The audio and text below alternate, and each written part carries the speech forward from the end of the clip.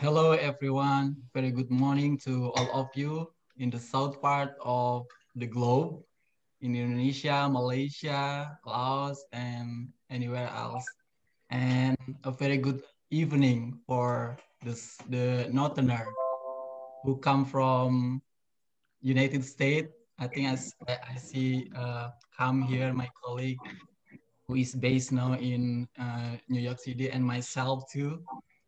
Uh, welcome to our very important event today, uh, which is the regional uh, event, uh, part of the uh, Global Symposium of Ubuntu, which is organized by the Global Men Engage. Uh, just to let you know that this event today is organized by a collaborative work involving the Ministry of Women's Empowerment and Child Protection of the Republic of Indonesia, and then the Indonesian country representative of the United Nations Population Fund or UNFPA, and also the Indonesian Women's Alliance, which is you know alliance consisting of uh, various organization, the NGOs, and then also as I said, this is part of the Ubuntu Symposium organized by uh, the Men Engage uh, Global uh, uh Global Alliance. So today's events, uh, we will we, we, we is the webinar. We're going to discuss. hari ini adalah dalam bentuk webinar. Kita akan berdiskusi transforming patriarchal masculinity for gender justice. We're going to uh, have some lesson learned from the past, which is because this, this initiative is already built uh, like quite long. And then uh, from that lesson learned, we're going to try to build and develop new idea and agenda for uh, the new initiative and activism. Uh, let's start our event today uh, with the singing of Indonesian national anthem, the Great Indonesia or Indonesia Raya. Uh, uh, ladies and gentlemen and other genders, please uh, enjoy the Indonesia Raya.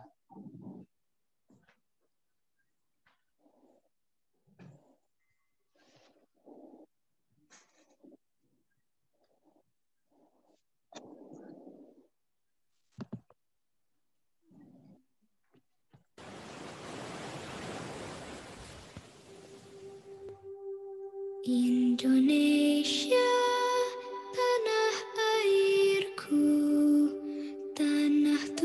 yang di bahasa Indonesia bisa ke bahasa Inggris dulu untuk bisa mendengarkan.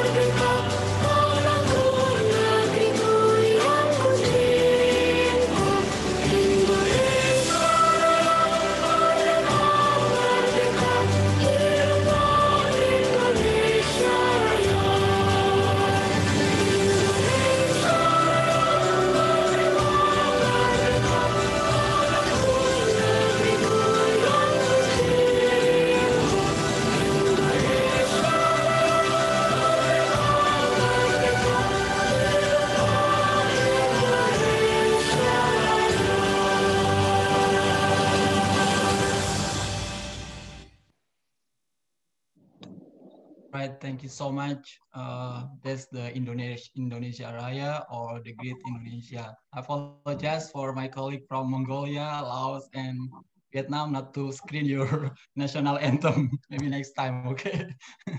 Uh, before that, uh, we have some announcement. Uh, first, uh, this webinar is, uh, uh, you know, equipped with the interpreters.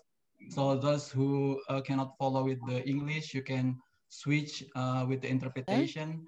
Uh, there is a, a button in the bottom. Tidak bisa mengikuti dalam bahasa Inggris. Anda bisa menggunakan fitur interpretasi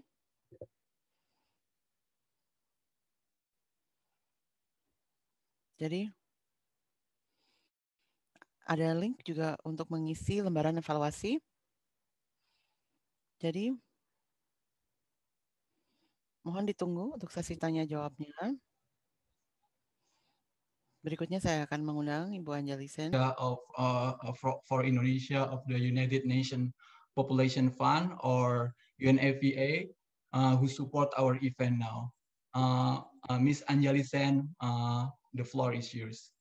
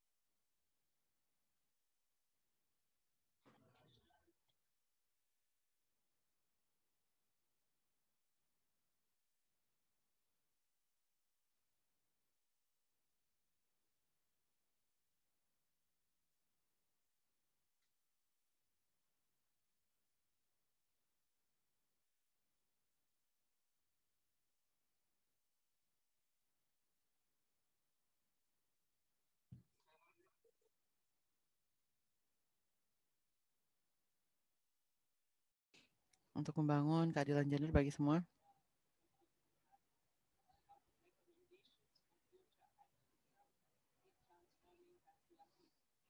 Dan kita akan membahas hal-hal yang bisa dilakukan. Membahas webinar hari ini dan kita akan membagi pembelajaran praktek-praktek terbaik serta praktek-praktek yang menjanjikan untuk mentransformasi But for me personally, this is uh, this is very important. Uh, I was earlier with the International Planned Parenthood Federation, and I have also worked uh, closely with the Men Engage uh, Alliance uh, on this. So it, it, it is a subject which is of deep interest to me as well. Uh, for UNFPA here, male involvement can be utilized as a strategy for changing gender norms and harmful masculinities in society in Indonesia, the government of Indonesia, with technical support from us in UNFPA, we shows a very strong commitment through the establishment of the National Reference Group as a national advocacy platform for coordination and networking on male involvement uh, issues and the development of two important policy documents on the National Framework on Male Involvement and uh, standard operating procedures on the integration of male involvement in GBV and sexual and reproductive health policies and programs. And learning from this series of webinars, which have been organized in Indonesia as part of the Indonesia country event for this third Men Engage Global Symposium. Of course, we have some lessons learned, good and promising practices, which have coming out from all the initiatives undertaken by local actors using strategy for really transforming patriarchal masculinity. And these uh, initiatives will significantly contribute for the improvement of gender transformative programs in Indonesia and indeed other countries in the region. And we need to document all of these. So along with all the social and political dynamics and the emergence of this new generation of activists who speak out for democracy and demands for social justice for all, it's really very important at this time to examine the current situation and the dynamics of contemporary activism rel relating to the transformation of uh, patriarchal masculinity in East and Southeast Asia. And also, it's equally important to discuss future act activism and to examine the importance of solidarity among activists in the region and build a more equitable and just society in the region. And really to engage men in the efforts, efforts to fulfill women's rights, sexual reproductive health and rights, and to achieve uh, gender justice for all. And we really see the importance of this webinar to provide a space for reflection, of sharing lessons learned from all the initiatives. And hopefully this forum provides an opportunity to discuss recommendations on the future activism of engaging men and boys as strategic partners to achieve uh, gender equality. Uh, so really, I, on behalf of UNFPA, I really want to thank all of you, thank the Deputy Minister for Community Participation from the Ministry of Women's Empowerment and Child Protection, and all of you, the resource persons who are here with us, and all our CSO partners, and all those who are really working on the ground uh, to achieve uh, uh, bring about this transformative change to achieve gender justice for all. And I really wish us all a very productive meeting with fruitful discussions, a lot of learning, exchange of uh, recommendations, exchange of learnings, good practices, and I'm sure we will come out with good uh, quality outputs, uh, which we can really uh, take forward. And uh, uh, the presentations are going to be really bringing us all together to reflect and think together. So I thank you all, and I wish you really a very productive uh, meeting today, and look forward to the discussions. Terima kasih. Terima kasih banyak all the very best. Thank you. Uh, terima kasih, uh, Ms. Sen. Thank you so much for delivering such a great uh, speech. Uh, uh, Mrs. Ms. Sen from the uh, Office of uh, Indonesian Representative of the United Nations Population Fund or UNFPA. Thank you for showing uh, a great support and commitment to this very important work and also for highlighting the importance of continuing the collaborative work between uh, different part, you know, organization and individual to make sure that this work is uh, uh, ongoing and continue. Uh, thank you so much. Let's uh, continue with the remark from Mr. Indra Gunawan from the Ministry of uh, Women's Empowerment and Child Protection. Mr. Indra Gunawan is the Deputy Minister for uh, Community Participation. Uh, uh, ladies and gentlemen, please welcome Mr. Indra Gunawan from the Ministry of Women's Empowerment and Child Protection of the Republic of Indonesia. Uh, Mr. Indra Gunawan, the stage is yours. Yeah, uh, thank you, Pa, uh, pa Farid. Uh, I would like to welcoming and appreciate appreciate the honorable guest, UNFPA representative Ms. Anjali Sen, the resource person Dr. Hoang Tu Anh from Center for Creative Initiative in Health and Population Vietnam, Mr. Kam Safat Chantaviso, the member of Regional Learning Center for Gender Justice in East and Southeast Asia, Mr. Margianta Surahman GD from Youth Advisory Panel UNFPA Indonesia, Ms. Undaria Tumursuk, PhD from Mongolian Feminist National Network, and also Mr. Farid Mutakin as, uh, from the University of New York in Hampton. Uh, Ministry of Women Empowerment and Child Protection would like to express our appreciation to Aliansi Laki-Laki Baru, Women Crisis Center Bengkulu, Yayasan Pulih, IPPA Chapter Rio Island, Rifka Anissa, Women Crisis Center, Gema Alam, and Center of Image, Imagine Society Timor for joint collaboration in organizing a regional forum on male involvement with technical support from UNF, UNFPA Indonesia.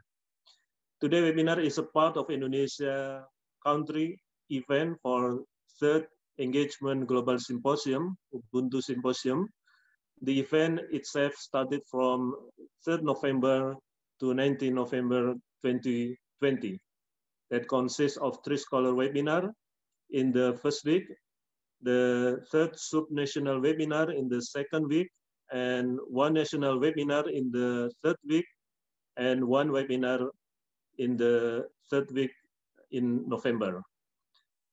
Ministry of Women and Empowerment and Child Protection see the importance uh, of engaging men and boys to achieve gender equality.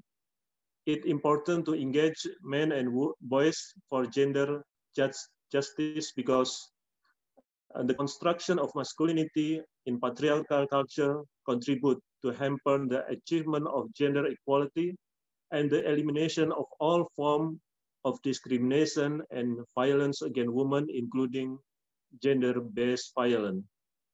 Gender inequality has had a negative impact on the personal lives of men as well as women. Men can play a positive role to eliminate discrimination and GBV and to achieve gender justice. In patriarchal culture, the majority of strategic positions in society, including in family, government, institution, private sector are occupied by men. However, we have to aware the risk of the and or danger of engaging men and boys for gender justice. Since the culture patriarchal has strong influence in our society, including the culture, belief, and practice, as well as religion interpretation. If the strategy of engaging men and boys is not carefully, properly, and critically used, it will be counterproductive for women's movement in achieving gender justice and equality. And it may give more privilege to men and absorbing resources used for women empowerment initiative. To mitigate the risk engaging men and boys, we must take into account the value and principle of the gender transformative approach. The intervention must become an integral part of initiative to achieve gender justice, orient to personal and structural change, aim to change the power relation, accountable to women and women's movement, and use positive approach to the men's group to reduce their resistance.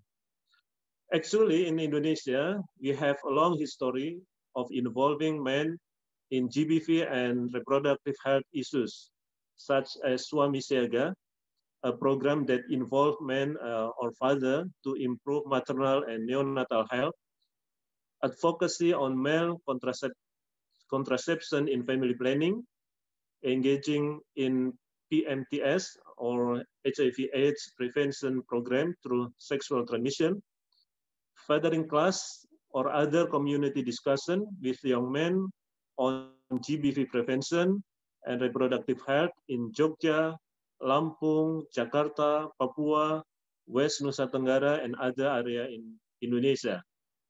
Men consulting for male as well as male perpetrator of violence, and also so social media campaign, such as uh, in the Pikiran Lelaki, Never Okay Project, and Aliansi Laki-Laki Baru, uh, pro-feminist men's network for net, network for transformative, transformative uh, patriarchal masculinities.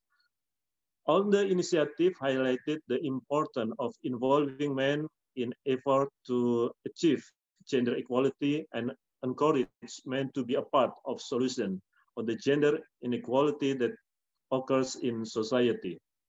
But we have to admit that in the past, we missed to integrate uh, gender transformative as an approach.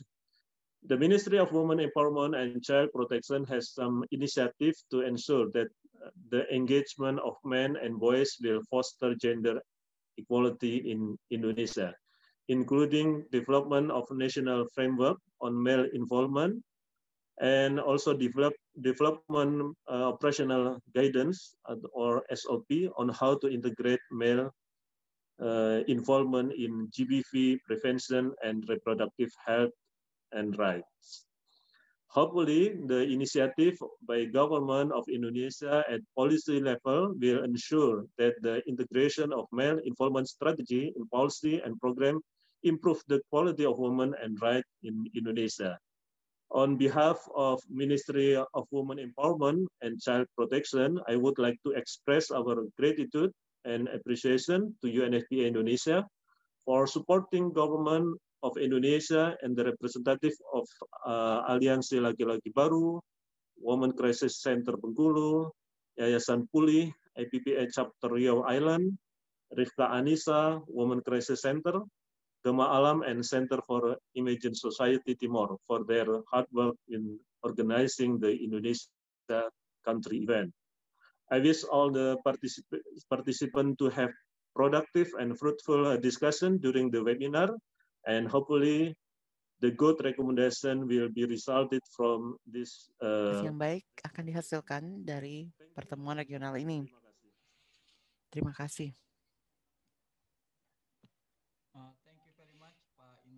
Gunawan, the Deputy Minister of uh, Terima kasih Pak Indra Gunawan, Wakil Menteri untuk partisipasi masyarakat dari Kementerian Pemberdayaan Perempuan dan Perlindungan Anak Republik Indonesia. Satu hal yang sangat penting adalah to this kind of initiative you know it, it is also open for um, more collaboration with the state which is very important in this thing because we're going to transform our uh, program, our agenda into more practical policy there, you know, so it will be more influential to the broader community. Uh, once again, thank you very much. Terima kasih, uh, Pak Indra Gunawan. Uh, all right, uh, uh, we're going to uh, move to our discussion session for now.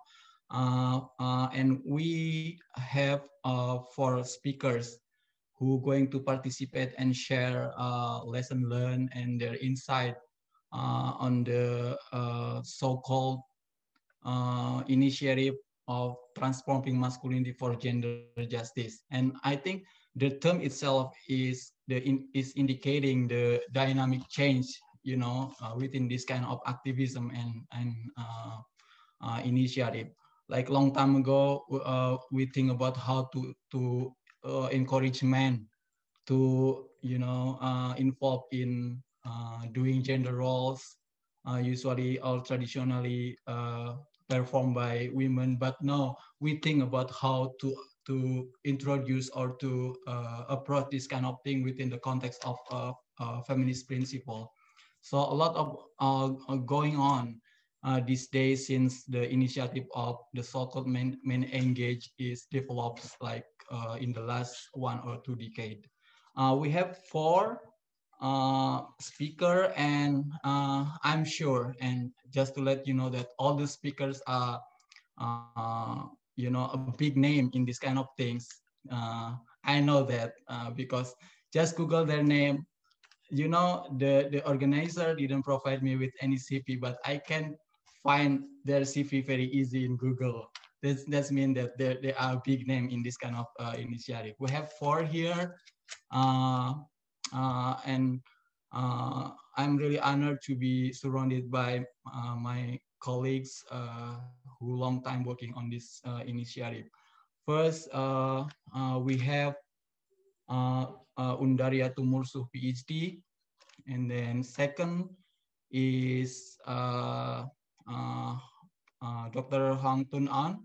And then Mas, another one is, we have four here. let me check. and then uh, Mas or Mr. Margianta Surahman, and then um, my colleague uh, Khamsavath Chanthavysouk. Uh, uh, first, I would like to uh, introduce one by one all the speakers, even though I, I, I know them uh, since a long time ago. Uh, first, uh, I would like to introduce uh, Undariya Tumursu. Undariya is now is the regional gender equality advisor the Asia in the International Rescue Committee, which is based in Kuala Lumpur. Undariya also the uh, national advisor right now uh, of the Mongolian Feminist Network, MONFEMNET. Uh, and then Undariya holds the PhD from University of from New Zealand Technological University in Wellington. Uh, and then, um, as I said, Undariya have, has been involved in this initiative since long time ago. I know her like 10 years ago uh, join the uh, regional learning community of uh, East and Southeast Asia for transforming patriarchal masculinity for gender equality. And then uh, even though uh, uh, she's originally from Mongolia, but right now Undariya is based in Kuala Lumpur, Malaysia. Selamat pagi, Undariya. and then the next is Dr. Hoang Tu Anh. Uh, he is the director of the Center of uh, Creative Initiative for Health and Population based in Vietnam, in Hanoi, Vietnam. Uh, she's also a member uh, of the board director of Arrow, if I'm not mistaken, right? Uh, uh, the Asian Network for Research and for Women that's very important organization for the Asia regional. And then uh, Mr. Margianta Surahman, the ambassador of youth movement. I know that. Uh, um, Mas Surahman is the project right now is the project coordinator for Young Health Program in the Lentera uh, Anak Foundation. Uh, and then the Youth Advisory Panel for the Office of United Nations Population Fund or UNFPA. Uh, and most importantly, uh, um, Mas Margianta is also the founder and executive director of Emancipate Indonesia. I saw your video in the TEDx Binus on YouTube, very important speech there. uh, and then my colleague, Kam, uh, right now is the uh, program specialist of elimination of violence against women in UN Women headquarters in New York. He's my neighbor now come when you're going to visit me. uh, Kam was the coordinator of the regional learning uh, community of the uh, transforming patriarchal masculinity back like 10 years ago. And we, I still uh, feel the influence of joining this kind of initiative. Like right now, uh, you know, in my academic life, also in my daily life, I, I still can remember uh, everything from the past, learning from you know, the regional uh, learning community transforming masculinity, this one. So everyone, that's all great name in, in, in, in, in uh, you know, in this kind of initiative. Uh, not to uh, waste time, let's start our uh, presentation now with uh, uh, Dr. Tumursu, who going to present uh, even though mostly maybe uh, she, she going to present lesson learned from uh, the Mongolia, but she also can, uh, you know, uh, share her insight about uh, how feminists approach into this kind of initiative of um, the so-called men engaged or patriarchal transformation. Dr. Tumursuk, ladies and gentlemen, please welcome Dr. Tumursuk. Thank you. Thank you, Farid, uh, for the introductions, and thank you to all the organizers and uh, the speakers, also representatives from the ministry and from UNFPA. And I have to say, it is a pleasure to be here with uh, good friends and colleagues from the regional learning community on transforming masculinities for gender justice. So, will someone share my uh, presentation on screen? Thank you.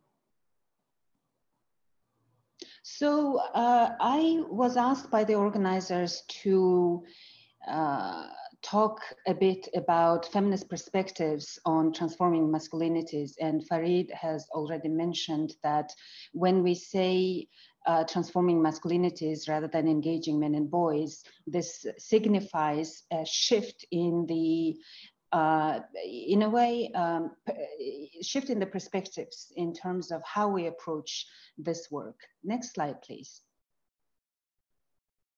So I thought I would ask with three questions for your reflection. The first one is, what is the most effective and sustainable way to control people? I'd like everyone who is participating in this webinar to think about the technology of power and control that all of us are subjected to, that all of us participate in.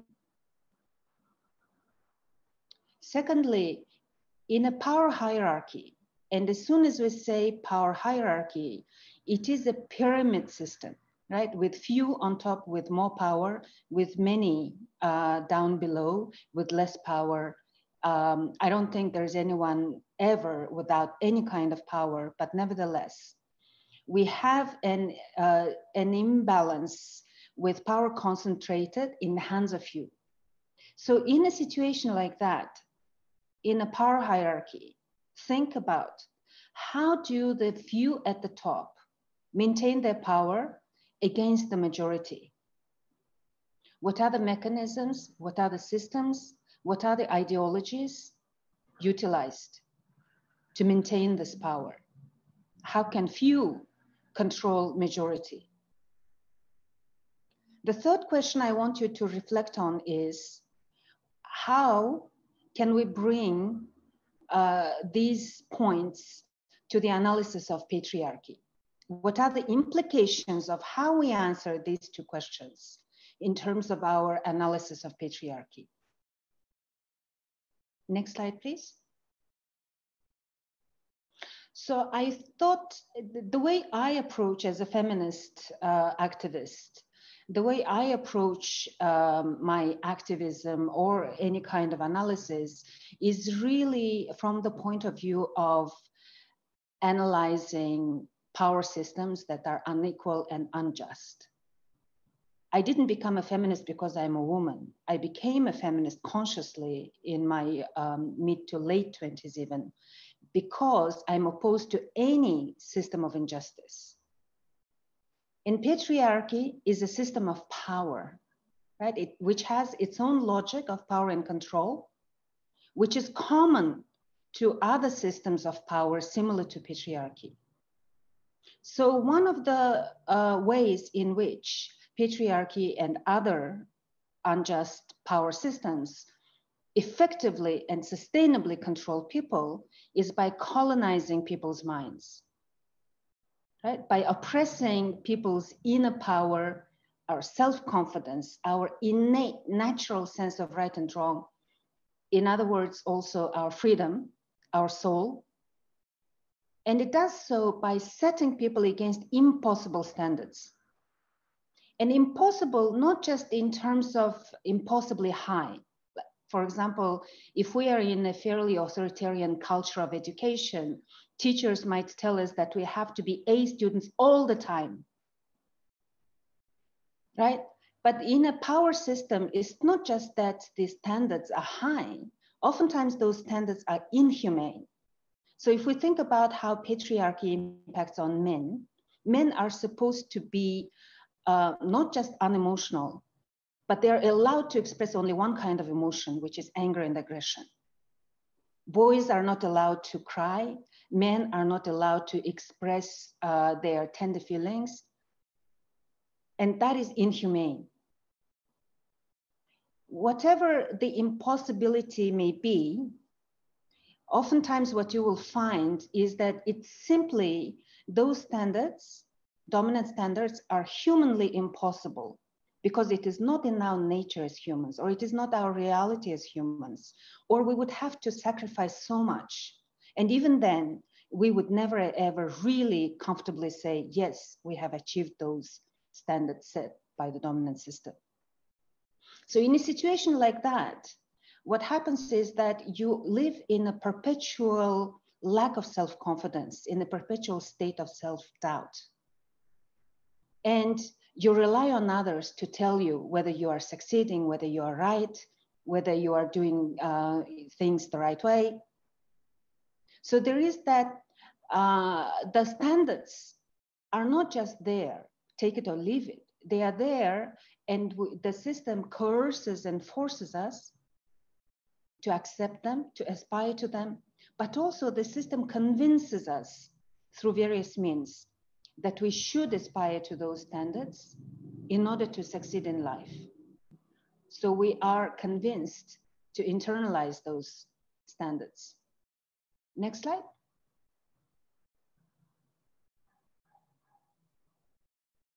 Next slide, please.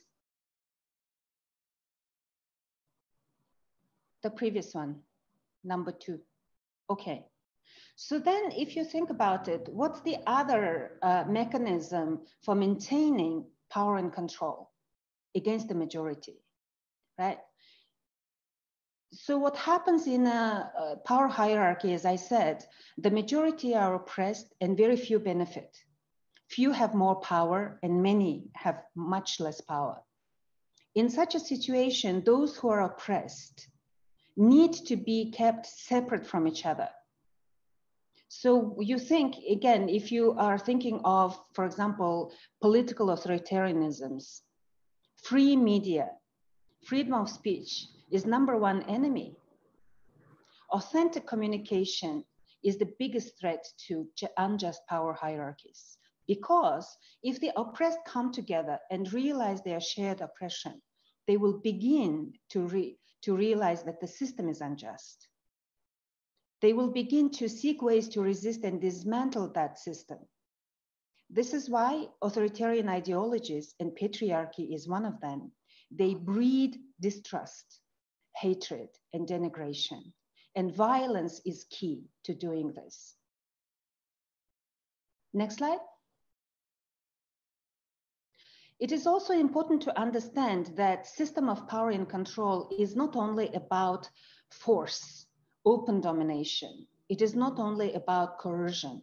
It is also about uh, conditioning, softer ways of uh, controlling. All systems of control have dual mechanisms, reward on one hand, punishment on the other. And this relates to the analysis of power that power is not only negative, it is not only about controlling, but it is also productive in the sense that it produces desire in people to comply with the rules of the dominant game. Quote unquote successful systems of power hierarchy are hegemonic. And this word hegemonic is extremely important if we are going to effectively address patriarchal masculinities. What this means is that people are systematically conditioned from young age, we would say even before birth, to internalize the logic of power, the dominant values and norms. In hegemonies, oppression is so naturalized and normal that it becomes invisible. It is just how things are. This is the reason why it is so difficult to find the right language, right examples to convincingly educate people about patriarchy. Because people are so used to patriarchy, they don't even see it. They just see it as life, as how things have always been, how things are, how things will always be. What's the point talking about it? Those of you who have worked in the area, I think, know that oftentimes it is really difficult to confront people's extremely strong sense of reality and truth. At the same time, there is punishment for non-compliance. It is always looming large. And again, again and again, violence is an integral part of unjust systems. So if you fail to properly internalize, if you fail to properly aspire towards the impossible standards the system sets up, you will be punished. And punishment comes in many different forms. It can be physical violence, it can be verbal, it can be exclusion, marginalization, denial of rights resources. Next slide. So what does this mean? right? This analysis of power, uh, uh, the logic of power and control. What does this mean for analyzing masculinities? First of all, as I mentioned, patriarchy needs to be understand, understood as a hegemonic system of power and control. It uses gender, and we should remember not only gender, but gender is certainly a primary category uh, that is used by patriarchies for unequally distributing power and privileges on one hand, costs and burdens on the other, and to legitimate this unequal and unjust distribution. Patriarchy is systemic, it is socially constructed, it, and then it is naturalized. It produces and maintains unjust gender hierarchies based on notions of male superiority and female inferiority. Secondly, patriarchy it is important to understand that it establishes that it establishes a bi-gender heteronormative system, which means that it, uh, it imposes this notion that the humankind comes in two and only two uh, forms, male and female. That there are no other people. If there are other people that don't fit into these two boxes, they are unnatural they are deviant. They should be marginalized. In some cases, they should be eliminated literally. This is why there is so much um, violence and crime and hate crime against people who are non-binary, against people who deviate from the heteronormative um, model. Uh, this is why gender and sexual minorities are also severely oppressed under patriarchies. This is also why men who are not quote unquote masculine enough and women who are not feminine enough are severely punished oftentimes. But the reality is that humankind is much more diverse. There is a much greater diversity of bodies, gender identities, and sexualities. So there is that mismatch already, we can see between the bi-gender ideology of patriarchy and between reality of the human experience and existence. Thirdly, patriarchy sets up ideal type masculinities and femininities that are humanly impossible. In other words, the dominant gender norms are oppressive. And fourthly, patriarchy uses coercive as well as productive power to keep men, women, and others alienated from each other and their own selves. So if you think about all of these different kinds of phenomena, misogyny, transphobia, homophobia, also how shame is used to control people, how, how all of this breeds distrust and violence, and how distrust and violence then also breeds misogyny um, and uh, discrimination against women and anybody else who doesn't fit into the bi-gender system. Next slide. This is the last thing I'm going to say in terms of this conceptual framework. It is extremely important to remember and systematically try to factor into our activism the understanding that patriarchy does not act alone. Patriarchy is not is a system that dynamically intersects with other systems of injustice, such as racism, nationalism, cultural and religious fundamentalisms, as well as imperialism and colonialism. And we have to call out neoliberal capitalism as well. And all of these plus patriarchy are intrinsically linked. The oppressive nature of patriarchal masculinities as well as femininities needs to be analyzed intersectionally, as well as taking into account the power dynamics in the global order. So not only within local context, not only within national context, but within the international context. So I want to uh, take you through three examples of Mongolian masculinities to highlight what this analysis uh, means. Next slide.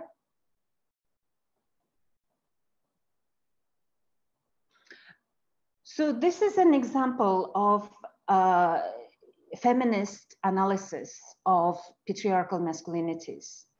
We developed uh, in 2007, we began to work uh, carefully on transforming masculinities and then gradually uh, following what we called analytical discussions on masculinities and gender justice, we began to develop a training program uh, on transforming masculinities. And one of the exercises we came up with was to uh, involve participants in the identification of dominant models of masculinity in their given context. And notice that I'm using the word masculinities in plural. There is never one masculinity and there is never one uh, femininity. There's never even one patriarchal masculinity in one given context.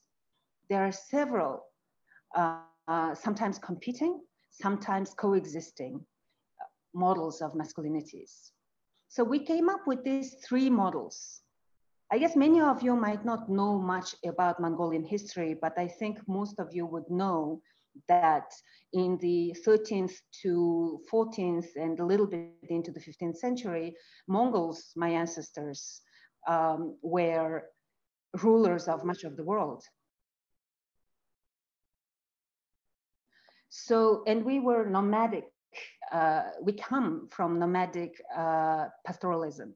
So on the left, you see one traditional and very popular model of masculinity, which is the rural herdsman. You can see how strong he is, right? Physically strong. And uh, there is this notion of expansiveness, freedom, when you think herder. And there is also this notion of him being laid back.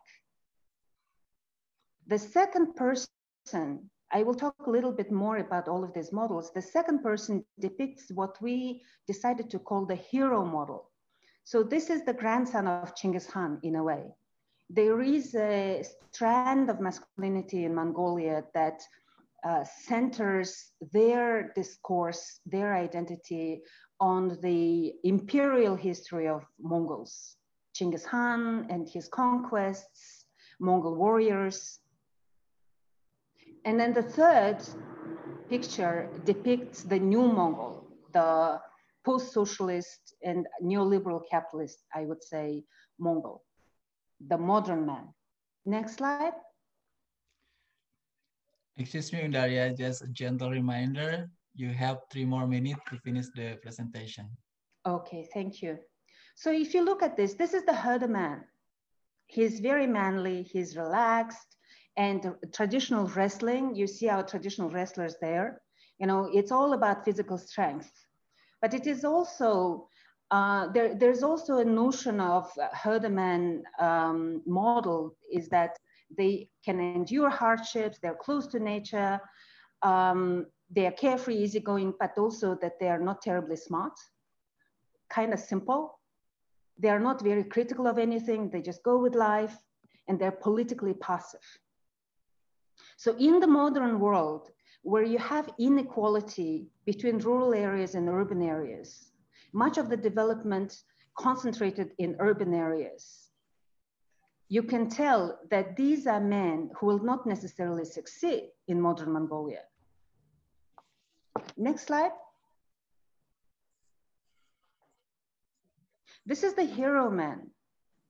He is macho, he's a nationalist patriot, but he's also urban, even though uh, their discourse is centered on Chinggis Khan and you see his tattoo there. They're xenophobic, anti-Chinese, they're very politicized, but in a very xenophobic and very anti-women, misogynist way. Authoritarian, they want to be the protectors of the nation, they want to control power. On the uh, right uh, extreme of this spectrum, you see the neo-nationalists in Mongolia, ethno-nationalists. Sadly, this model of masculinity is very attractive to young, urban, disenfranchised men. Next slide. And lastly, this is the new Mongol. This image legitimates the dominance of socioeconomic and political elite. They are wealthy, they are educated, cosmopolitan, urban, they are businessmen who also can be politicians, they're also celebrities, they are the breadwinners, they have the money, right? And they are modernized, westernized. Even though this looks like it is not traditionally Mongolian, this model, this is the model that has the power economically, socially, politically. And the other models you can think of the hero man as serving in the interests of this political and economic elite to uh, distract, to divert public discussion towards blaming foreigners or towards blaming Mongolian women. And then the herderman is in a way um, a simpleton whose labor is exploited. So even within patriarchal masculinities, you can see a clear hierarchy which relates to the other systems of dominance based on class, um, eh, geography, and so on. Last slide. So men, as anybody else, ha have a right to narrate themselves, to construct themselves, to be free of oppression. They can construct their own identities, be who they want to be. So for me, feminist work on transforming masculinities for gender justice is broader than engaging men and boys in combating violence against women and girls. It is about engaging men and everyone else in actively dismantling patriarchy. It is about inviting and supporting men to liberate themselves from the oppression of patriarchal masculinities so that they can live a full life. And last thing I would say, the reason I am engaged in this work is because I believe dismantling patriarchy is everybody's work. Dismantling patriarchal masculinities is also everybody's work. Thank you.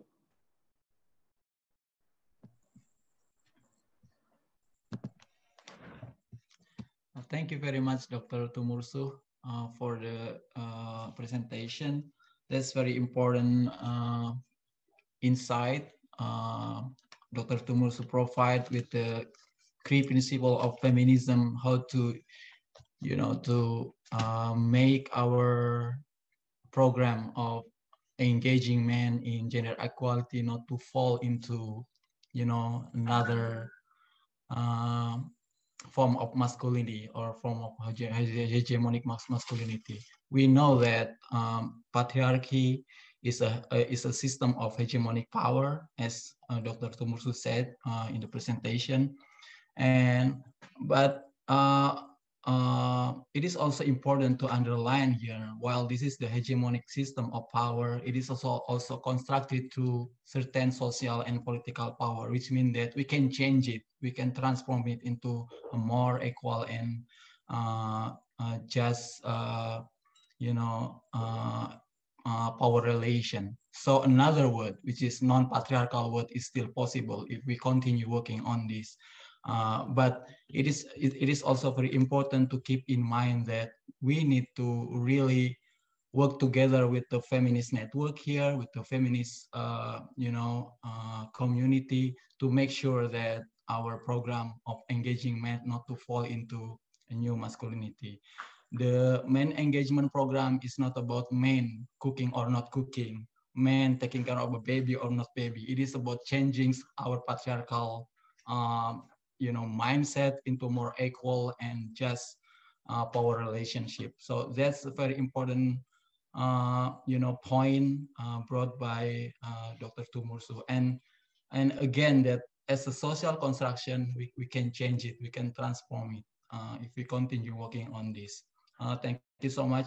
Uh, just for the audience and participant, we're going to have a, question and answer session later after all the other speaker present the, their presentation. Okay, next, uh, we're going to have uh, another speaker, which is Dr. Hoang Tu Anh, the director of the uh, Center of the Creative Initiative of Health and Population based in Hanoi, uh, Vietnam. Uh, Dr. Uh, Tu Anh will present the experience from uh, Vietnam, how to transform patriarchal masculinity into, you know, gender equality unlike Dr. Tumursuk, who focus more on you know uh, conceptual and theoretical framework, we can learn more practical from uh, uh, you know the program initiated by CCIHP in Vietnam. Uh, Dr. Tu Anh, uh, please, the stage is for you. Thank you. Thank you, Farid. Um, and thank you for the introduction. Yes, um, I think the, um, the, the, the, presentation of Dr. Tumursuk was really provide me with the ground that I think some of the practice that we did uh, we have done in Vietnam can fit in the uh, in in in in the in the theoretical framework that uh, Dr. Tumursuk was presenting to us, and um, yeah, I think and also there's been a lot of challenging that I think that uh, my presentation can um, um, um, um, give the way for us to, to discuss further. So um, uh, next slide, please. Um, yes, so in this presentation, I will first provide a very brief overview of the um, situation of violence against women in Vietnam, and then uh, I'll describe the two pilot model for positive masculinity, uh, one in the rural area and one in the urban uh, area in Vietnam, and then uh, and then discuss the lesson learned and, and also give some recommendation from what they learned in the in the program. The next slide, please. Yes. Uh, so um, in Vietnam, we just uh, finished the second uh, national study on violence against women. Um, and uh, the, and the report that launched in um, uh, in uh, July this year and uh, also uh, I lead the, the the the the component on qualitative um, the quality part of the of the of the study, and and so the first study we conducted in 2010, um, and after 10 years we um, we not really see much change uh, in terms of the prevalence. So uh, so the, the most recent data show that there's been like uh, two out of three uh, ever married women ex experience from at least one form of violence uh, in the survey and in their lifetime. And, uh, and then about one third of the women um, um, ever married women experience from um, violence in the past uh, 12 months.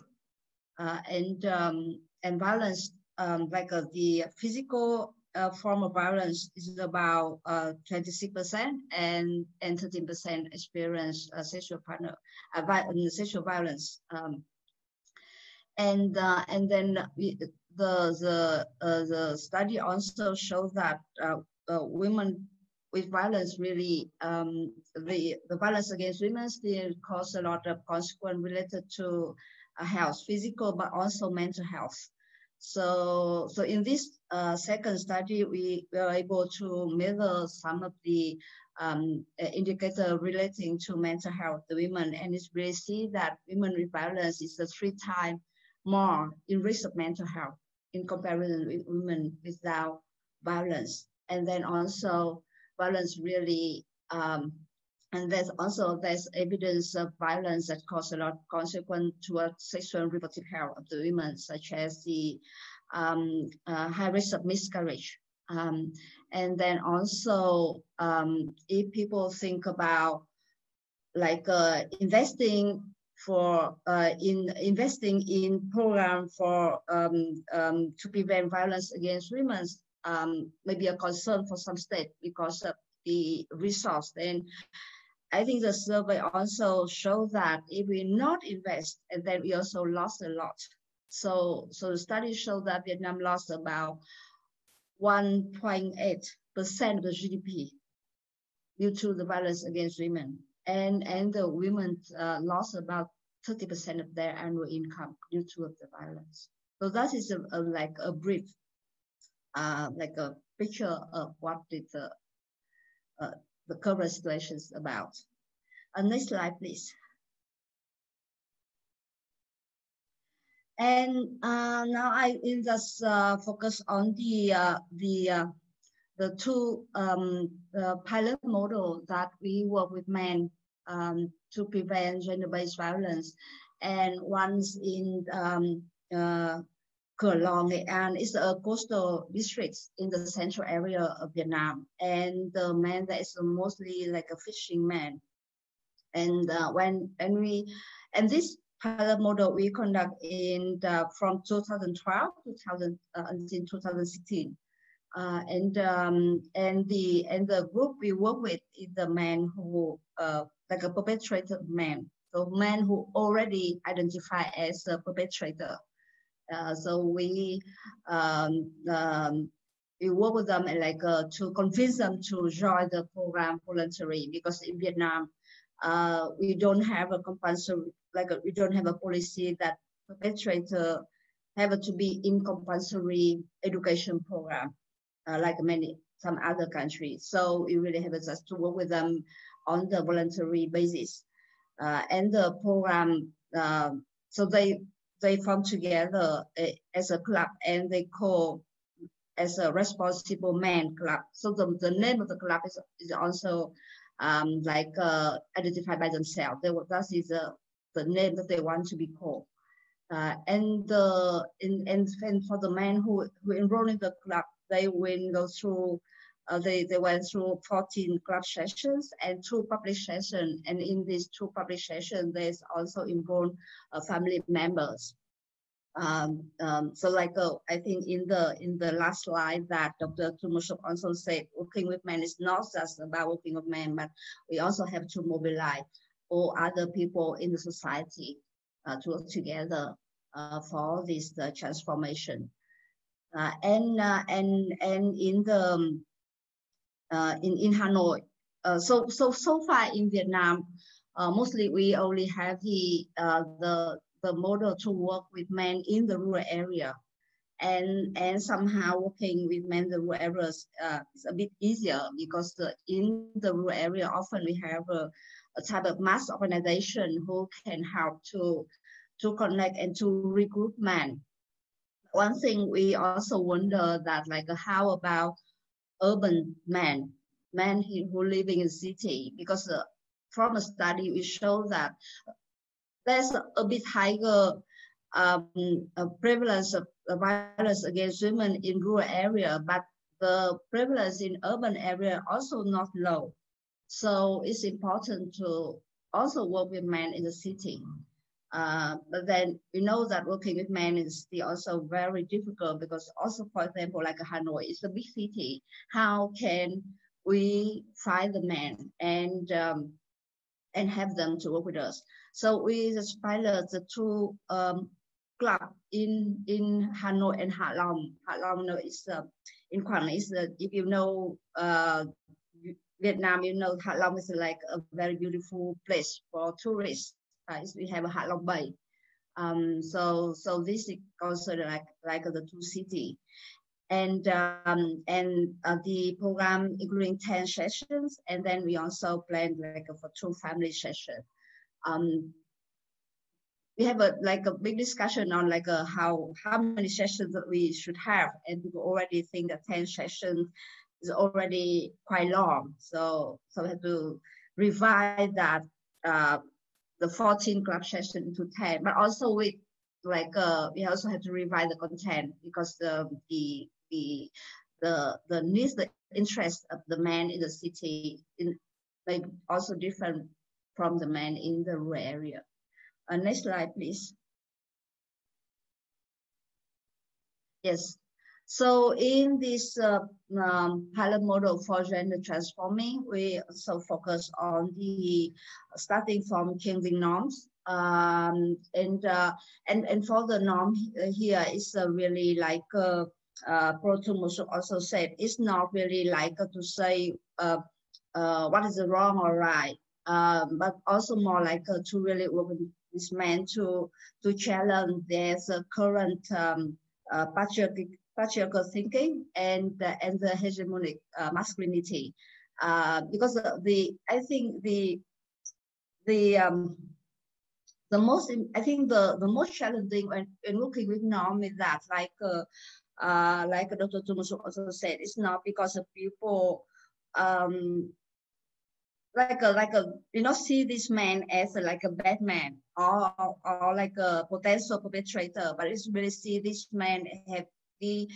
they they adopt they accept this norm uh, as a good norm. That is how they believe. Um, uh, so so so uh, working with them on like uh, there's a lot of activity to work with them on challenging this norm and and get them reflecting that from themselves uh, to change to like um, that kind of like a symbolic uh, violence that caused by the this norm that, that we want to work with. Uh, but uh, and then and then also we think that in in addition to to changing this norm, to provide them with the specific technique that can really help them to practice these uh, new norms also important uh, because um, also from the uh, the research that we we did um, with uh, with this man. Uh, we also found that men, I think men in Vietnam, also men in I think in many places in the world, they they grow up, they were born, they grow up, and they enter um, marriage into family life to become husband or to become father, without being equipped with necessary uh, skill uh, for them. Uh, and some skills very important, just like a skill to express their their feeling, their emotion uh, uh, in a in a positive way, or the way to solve the conflict in a non-violent way. So so so so uh, beside the changing the norms, we, we found that providing them with specific technique um, is so very important. Uh, and then also creating a kind of like authentic pride. Um, I think in in in the in in the presentation that Dr. Tumusu said, she mentioned the authentic communication, uh, and I, I think it's important. And and I think here also I emphasize the word authentic in a way that uh, because of all these the the norm like uh, the the hegemonic um, masculinity norm that that this meant that uh, they um, they embed, then they uh, that create a kind of I would call it symbolic pride. That's a pride that make them feel proud of them as a kind like a, uh, if they, they can follow the the traditional um, patriarchic um, masculinity. Um, so to ch change that and to create a kind of authentic pride that to become like a different man, a new man um, is important. Um, and then another one is that we think that as to echo the last sentence that Dr. Tumuso said about like uh, uh, to mobilize everyone else in the society is really building a collective support uh, for this man um, to work together uh, is important and to maintain the norms and the practice and the the pride that they they they they acquire from uh, from the from uh, participating in this uh, new pro in this program uh, can uh, will help them to to maintain and also to um, to um, disseminate this norm further. Next slide, next slide, please. Yes.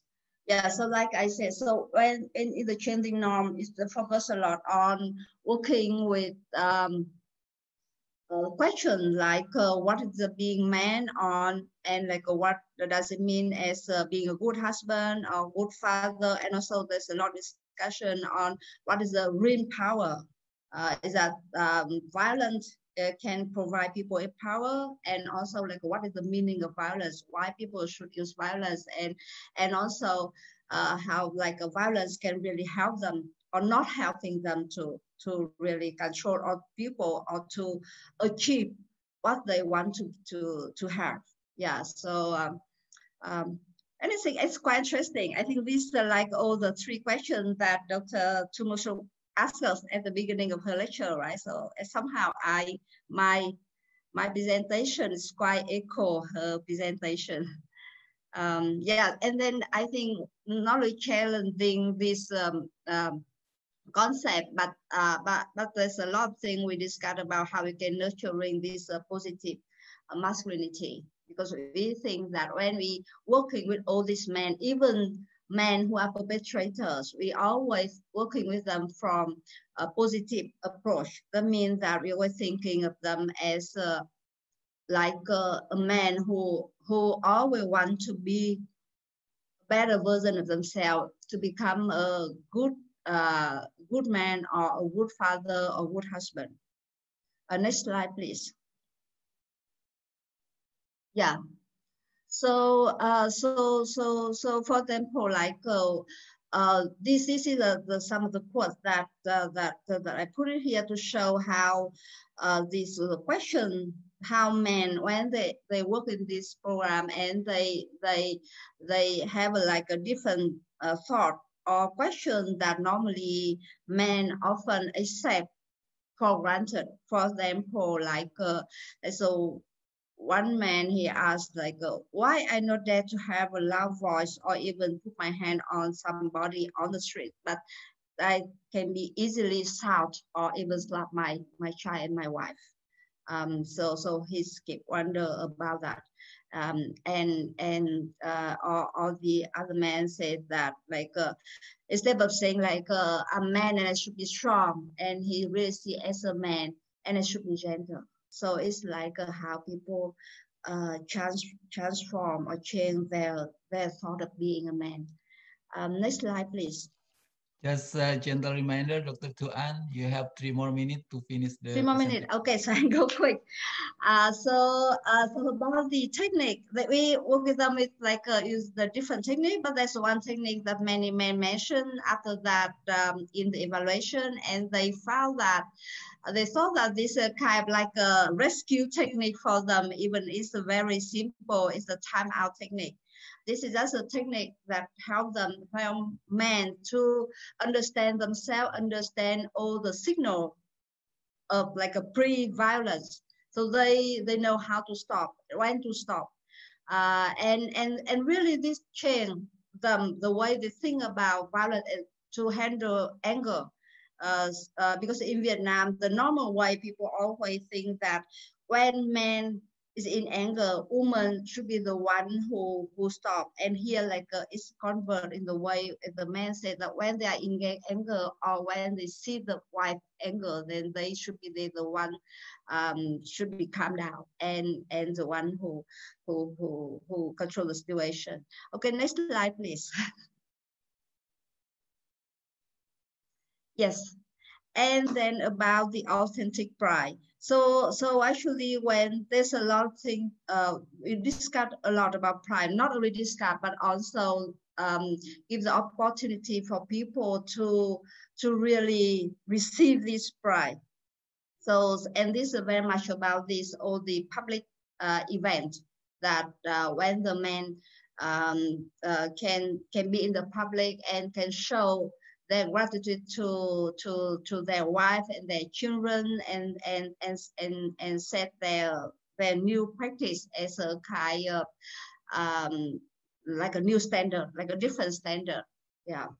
Uh, next next slide, please.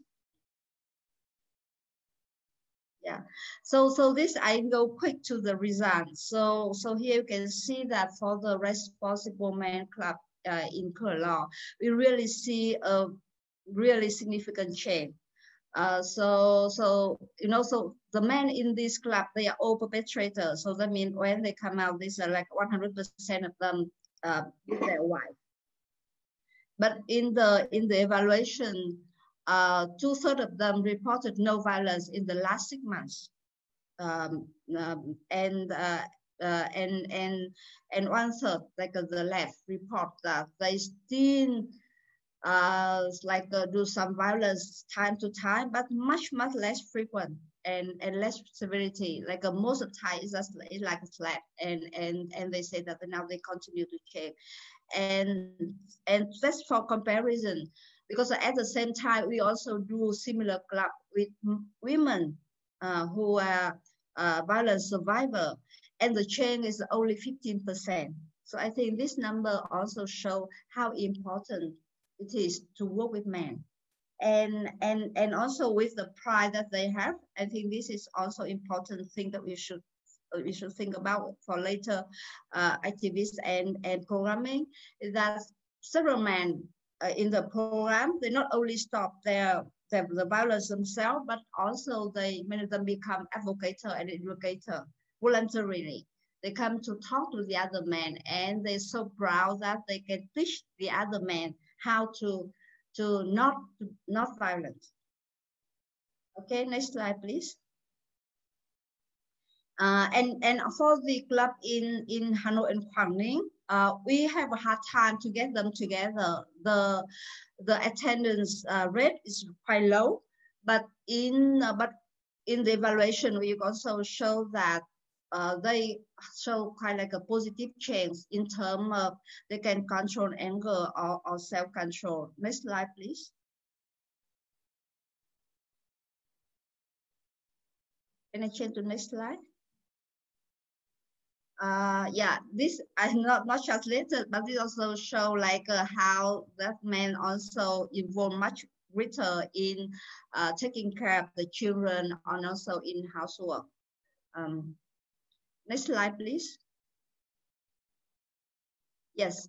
Uh, yeah, so so we see that these pilot models have a some potential, but there's also a lot of challenge. One of the things that I already mentioned is about recruitment uh, and also maintaining like uh, um, very few club can maintain after we finish the program yeah and it's very much depending on the local people who like how much enthusiastic of the local people who want to do that. Uh, so, so it's quite challenging. And and then also so many participants also complain that the talking on this is quite serious. I said too serious and lack of sense of entertainment, uh, especially for the group from the city. Because when we compare the, the group that we have, because we have the physical group, but we also, like with COVID, we also have a Facebook group. And at the moment, the Facebook group have only 200, more than 200 people. Uh, but then like we compare with groups, uh, other group like a group for like a people with car or, or other group. There's many, many thousand people. And, and when you discover the participants, they say that, oh, our group is too serious. Even sometimes when some people want to give comment, they don't know like a which tone that they use to put the comments. So they not be judged by other members of the group. And another challenge that now we work with men, but it's so hard to find like a good men trainers, like an inspiring men trainer. Yeah, so so not only in the rural area, but even in big city like uh, Hanoi, it's, it's very difficult to find. Uh, I think for many men trainers, they also not feel quite hesitant to, to work with uh, this topic. Uh, okay, next slide. I think the last slide. Yes, So uh, I think for for this uh, model, I think as even is uh, quite promising, but and also the the positive approach can see as a good way for recruitment and also transforming strategy. Uh, and and but I think there's uh, we in in in the for uh, for other model, I think we should be we should work more also on the edutainment and pride. And, and really, I think leadership is very important to put this model forward. Okay, thank you very much. Thank you. Yes, and if you have any questions, you can ask or can email me. Okay, sure. Thank you so much, uh, Dr. Tu Anh, uh, for sharing the best practice from Vietnam. Uh, one thing that's very important point from uh, the presentation is about, you know, it is possible to unlearn even the, uh, we already have uh, embraced hegemonic uh, patriarchal masculinity, but through certain process, we can unlearn and, you know, uh, uh, and rebuild a new kind of masculinity. We're going to have you know, um, more answer and question later after all the presentation finish, uh, the, the, after all the speaker finish the presentation. Uh, keep in mind, you also can raise your hand and uh, or write your uh, question in the chat room. Uh, next presentation, uh, I'm going to invite uh, Mas Juhanda, I'm sorry, Next presentation will be um, Mas Margianta Surahman, uh, who going to share um, experience from the perspective of youth. Uh, you know, uh, this day there is a challenge uh, with the millennial ongoing, and I think um, Mas Margianta have a very extensive experience and wide experience to work with the youth on transforming uh, masculinity. Uh, we're going to invite uh, and welcome Mas Margianta Surahman. Uh, thank you, Mas Farid, and um, greetings to all the panelists here and the attendees. Uh, thank you very much for the opportunity that's been given for me. Uh, my name is Margianta Surahman, and you can call me Gian. I'm here representing the Youth Advisory Panel of UNFPA Indonesia, uh, we are a, uh, we are a branch of the uh, UNFPA Indonesia that actually consisted of several young people who actually advise uh, UNFPA on their programs and also engage meaningfully young people in development agendas, particularly on comprehensive sexuality education, gender equality, and uh, other humanitarian issues as well. So here, um, I think uh, the other fellow speakers have spoken very greatly about the topic here and I learned very much uh, from the previous speakers from other contexts and I think it was very much true that when we, when we talk about uh, masculinities and patriarchy, it comes in many forms and different complexities and we, we don't have a one size for all uh, solution for this. So uh, this is why as a disclaimer, I'm just going to say out, uh, out front that I'm going to speak uh, based on limitly on my uh, experience, empirical experience, and practices as well, uh, and with, my fellow other young people working in this particular issue. So engaging boys and men to transform patriarchal masculinities in Indonesia. next slide, please. Um, talking about uh, gender issues as well. Uh, oh, sorry, previous slide. Yes, uh, so I'm also representing my own youth-led organization. It's called Emancipate Indonesia. So we're focusing on modern slavery issues and supporting the uh, well-being and young workers' rights in Indonesia. And one of the particular issue that we are very concerned is actually also about gender issues, how particularly young workers, especially young women workers are more burdened than young uh, men workers as well uh, because of the gender pay gap, because of the sexual harassment, and the uh, the the, uh, the non-existent um, support for young women to actually speak out in particular situations and actually how how young men also should be much more involved in not being bystanders as well in their workplace so so this is why this issue is also becoming our concern as well next slide please so what is wrong from this picture? So I, I made this um, zine. So we, we just uh, clip some stuff, uh, random stuff from certain magazines, and we just, we, it, it, was a workshop in Feminist Festival in Indonesia last year that we, that is usually held um, every uh, uh, uh two years in Indonesia.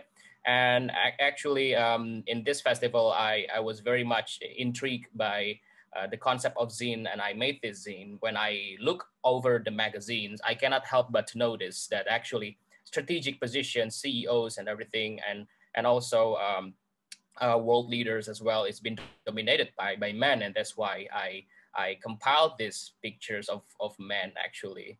And, um, and I asked people to reflect upon this, like, uh, so what is wrong from these pictures? um, usually I, I put this slide whenever I talk about this issue and most people will notice uh, firsthand way that, oh, there are so men there, uh, you know, and, and so little women as well. So, so this is also a, a point about representation, but how far does representation go and how far do we understand the complexities of representation? I think it's been very much discussed by the previous speakers before, but I would like to also share my part on this as well. Next slide, please. So um, the concept of masculinities, I think it's been mentioned previously before uh, by Ms. Undariya as well, um, of actually, um, we have several types of masculinities and, and actually sometimes uh, people would like to think there, there's so binary expressions of, of gender expressions and sexualities, but actually there isn't. Uh, we have seen now the emerging uh, changes of concept of masculinities in terms of expression. Here um, in Indonesia, mostly um, in my circle, uh, perhaps uh, they they would react that those are not manly. You know, uh, why would they dress like that? But actually, uh, you know, once we understand the complexities, and actually the concept of um, you know non-binary uh, gender expressions and and multiple kinds of masculinities have existed even before all of these development agendas uh, have even even entered Indonesia. If we see maybe uh, in other uh, opportunities and other occasions. We can also learn more about uh, uh, what they have in Bugis as well. There are several types of gender expressions and identities, and it's been it's been there a long way before SDGs or any other development agendas as well. So actually, this is not a very new concept, but we just you know sometimes we forgot about it and slipped out of right our hand, uh, out of uh, you know in in the in in in time. Next slide, please. And also about gender issues, uh, we have seen here uh, several issues that actually we are facing uh, in Indonesia. We have gender pay gap, we have discrimination, verbal assault, um, forced marriage, uh, physical violence, uh, harassment, exploitation. of course, because we're talking about patriarchy, um, the one who's uh, most um, disadvantaged in these terms is actually the women and also other sexual minorities as well. But but one thing that connects all of these gender issues, uh, we believe as young people is actually, next slide, please.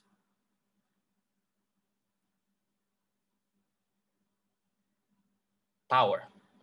So it's also about power. So I think it's been it's been explained very brilliantly before about the power structures and about the hierarchy that is actually being maintained uh, in order for this patriarchy and also other kinds of oppression as well eh, is being being upheld in the system and, and the structural uh, in a structural view as well. Uh, uh, and it's also about power. Uh, so it's about keeping this power gap open that because it benefits certain groups of people and mostly uh, cis heterosexual uh, male in Indonesia with you know with uh, with uh, with very very much privilege in Indonesia. Uh, I myself I'm checking my privilege as well. I'm a I'm a I'm, I'm half Chinese, but I don't I don't kind quite look like one. So in Indonesia, that is also an, an, an, advantage. I'm a I'm more more people see me as a Sundanese person, which is a part of the majority. I'm also a Muslim, part of the majority. I'm a cis cisgender heterosexual person, part very much of the of the majority. So I have all these kinds of power and privilege as well to actually um, roam freely and and develop more uh, you know in a, in a more thriving way in, in in society in Indonesia, especially among other young people compared to other uh, young women in Indonesia. Next slide, please. So patriarchal power relations between gender. I think uh, in Indonesia also uh, we have we have because of the social media we have seen it also quite well now. Very much people are, are expressing their uh, indifference, uh, but also we see the indifference among uh, the gender issues and the patriarchal norms are, are still entrenched in many, very much many, many people, and also internalized misogyny uh, among, among women as well. Uh, and, and a strict gender role sometimes like, um, is there any such thing as, um, you know, um, a house husband, you know, like aside from housewife, is there such things like that? So, and then why should men wear any skin cares? Uh, and, and if you're raped, what kind of, you know, what kind of uh, what kind of clothes were you wearing? And that is actually a question that's being raised not only by people around the victim of sexual assault, and mostly they're women, they're also being being asked by the police themselves, who actually supposed to be a safe safe space for for victims to report uh, uh, their their cases and get justice done. Sometimes, so so actually, this is very much an entrenched um, structural problem as well, and also about hierarchy, about um, you know, about um, a forced marriage, about the uh, the early marriage that the parents thinks they have power over the children, especially the the young uh, young women, uh, the, the, the girls as well. Um, many of them also married early because their their their their, their parents either they are uh, socially economically disadvantaged and and also about the stigma and norms that is being perpetuated by by also not only discriminative policies but also non-existent um, set of regulations that actually supports uh, to, to combat these kind of issues, especially about the anti-sexual violence measures in Indonesia. Next slide, please. So patriarchy also hurts men as well, uh, although not systematically. Like it's been said, like just like the the Cure has a has a song, and "Boys Don't Cry." Uh, we have also that saying and belief in Indonesia: if you cry, you're you're a you're a you know you're not a manly person you know you're not supposed to do that. You're a man you should toughen up. And i think it exists in all kinds of cultures uh, you know all kinds of pop cultures as well. Uh, but actually uh, we have learned better that actually the, the young generations now especially uh, the, the young boys and men uh, have learned that uh, you know another kinds of multiple you know expressions on, on masculinities also exist um, and I think also uh, um, we, I have uh, the opportunity and uh, the, the, experience actually to train several uh, young um, young uh, boys uh, among the junior high school and senior high school age around suburban areas of, of Bogor and Jakarta. And actually, this is becoming an, an issue because many of them like they feel like they are forced to fit into certain norms, like I must assault or I must harass women so I can fit in with other boys. I must smoke because smoking is manly and 73% of the men in Indonesia actually smokes.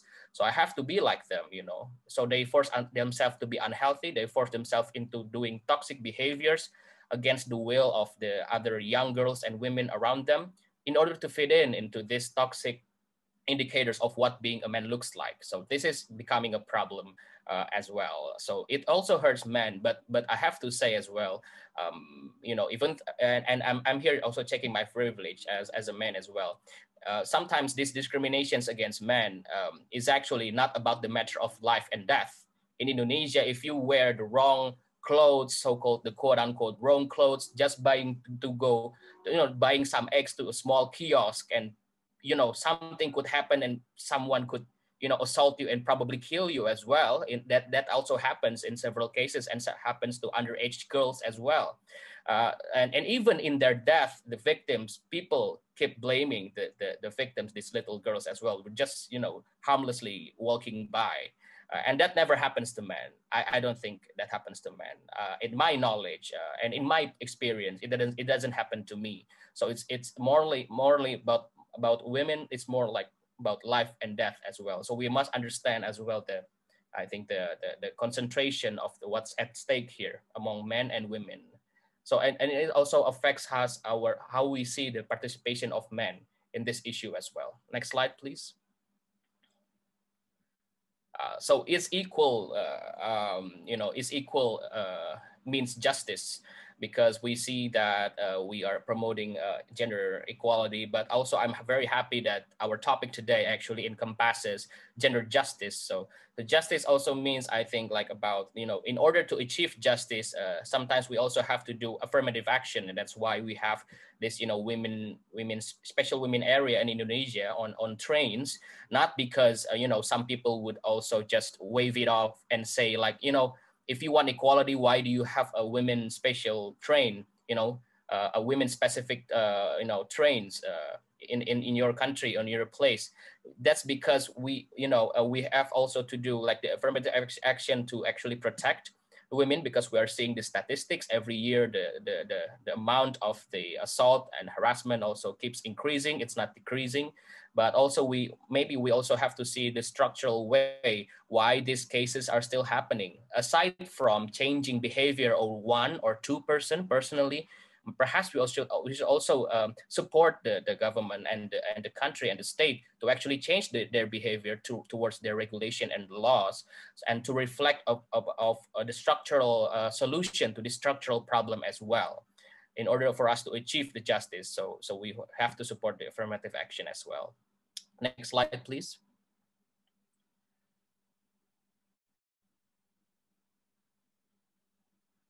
Next slide, please, sorry.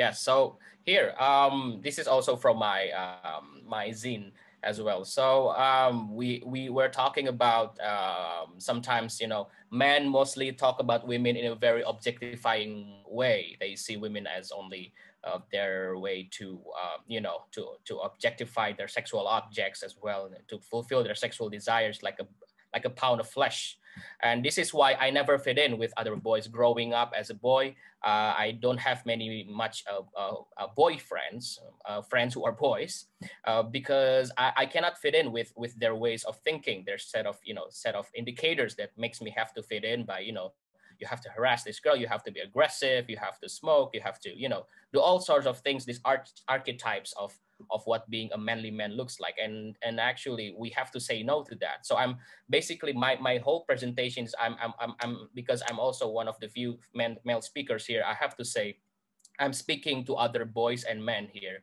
especially. Like we should stop this and we should uh, focus on educating other fellow boys and men as well. Because women knows how to be women. Women knows how to feel like women and how to deal with it. But but men doesn't know it because we don't experience it. And and apparently we are very much part of the problem you know. We want to be a part of solution. We want to be involved. But what kind of involvement that we do one of them is firsthand is to remind other men as well. So we do not mansplain what women should feel and do like. Next slide please. So this is one of the ways is actually what what what i'm doing at least in my organization and my capacity and what i'm trying to spread as well all across asean conferences that i have attended asean youth conferences that i have attended in in, in thailand in philippines and other places as well in singapore. I always remind them that actually we cannot accept and we cannot normalize all male panels. When you're talking about um, you know, not only about gender issues, but also other kinds of issues with other complexities and where women are actually, uh, you know, very much affected in this in these cases. You have to ensure that women also are speaking and women coming from those specific backgrounds to represent themselves not men speaking on the behalf of them. So this is actually the tricky part of men males involvement in the agenda of gender justice is as allies. We are not in the middle of the spotlight. We are not the, the, the main actors here. We are the supporting actors. We are the supporting parts of the agenda that actually for those who are most disenfranchised, which is women and, and sexual minorities. They are, they are the one who's supposed to be given affirmative action to actually, uh, you know, to speak up and given more opportunities uh, to, to share their concerns and, and, and, and their actions towards uh, facing these issues. So this is what I do is actually when I got, whenever I got offers to, to speak, I always ask um, several things. First, um, is the gender composition of the speakers are balanced? You know, uh, is there like, is it an all male panel? If it is, then first I would I would uh, suggest them to search uh, for me to to look for other alternative from my other uh, women colleagues who are capable in that issue. Or second, I will ask them to give an opportunity to start giving opportunity to my other women colleagues to who actually uh, you know can have a shot at this. You, because if you never know that you have tried right? You cannot expect like because there are no capable women but have you actually affirmatively actively tried to open the opportunity to give women to exercise uh, uh, you know their their capacity and actually be the, the, expert in this field that you are saying. So, so this is what I do. And secondly, I also ask about the, the, the whether it's pro, bono or is it paid or not, because sometimes uh, for certain groups, it matters whether you pay them as speakers or not, because uh, we always assume like you are invited by this big, uh, you know, big institution, it is priceless, therefore you don't have to ask for any, any speaker's fee, but but it is very good for you as well to, to just tell them right away, is it a pro bono or, or not? Because sometimes also, like I said before, um, the, con the condition of the marginalized people, uh, of the social economically, and also, uh, you know, sexual minorities, also sometimes even women, they are more um, you know, they are more in the positions of actually, you know, maybe it, it concerns more that to them that maybe it doesn't concern me or you, but maybe it concerns some people in those very um, marginalized groups as well. So we have to be, uh, uh, be considerate about that. Next slide, please. So be aware of structural problems because personal is political. Uh, personal is institutional actually. So that's that's why uh, um, I'm very happy to see that very uh, Indonesia have a very much lively young people's movement and network actually now working cross generational with other senior um, you know gender activists as well, activists for and, and feminist activists so to actually advocate for uh, against or in favor of certain bills that actually uh, you know supporting the agenda. For instance, recently we have we have been informed that our parliament is um, is also in, uh, talking and will be discussing prioritizing of certain two bills that are actually concerning us. One is about the uh, the family resilience bill, and the second is about the anti-sexual violence bill. So the the the family resilience bill actually seen like quite problematic because it will if it passes in our parliament in our DPR DPR, it will it will cert, uh, it will assign certain strict norms that you know that um, wife has the duty for domestic uh, works and man has the duty as breadwinners which also burdens men as a solely breadwinner and also of course burdens women as with all the double triple burdens etc and unpaid care work.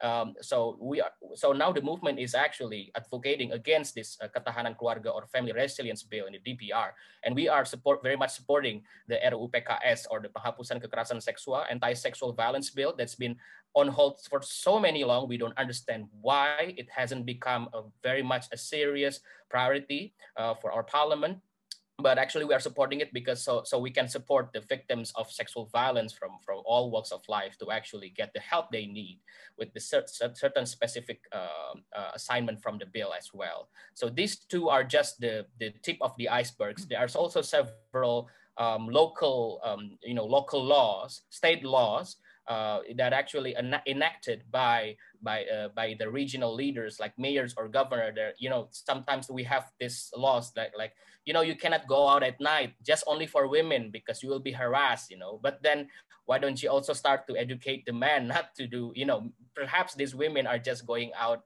you know coming home from their job. Why do you have to you know to, to, to forbid them from going out at night in the first place if if you cannot ensure a, a, safe environment for them day and night in the first place. So actually this kind of laws we have to also understand this is not only about raising awareness getting certificates taking a photo together donating you know feel good charities uh, this is about also changing the behavior of a nation. Not only a behavior of one or two people but also a behavior of a nation through its regulation through its laws. And that's why we young people also have to, be in part especially we as men thinking gender issues is not only for men and boys and not only for men and women and girls but also for men and boys. This is about all of us. This is about all of us because one of us is disadvantaged that all of us is disadvantaged next slide please uh, I'm sorry, Mas Jian. Oh. You have two more minutes to finish. Yes, thank you.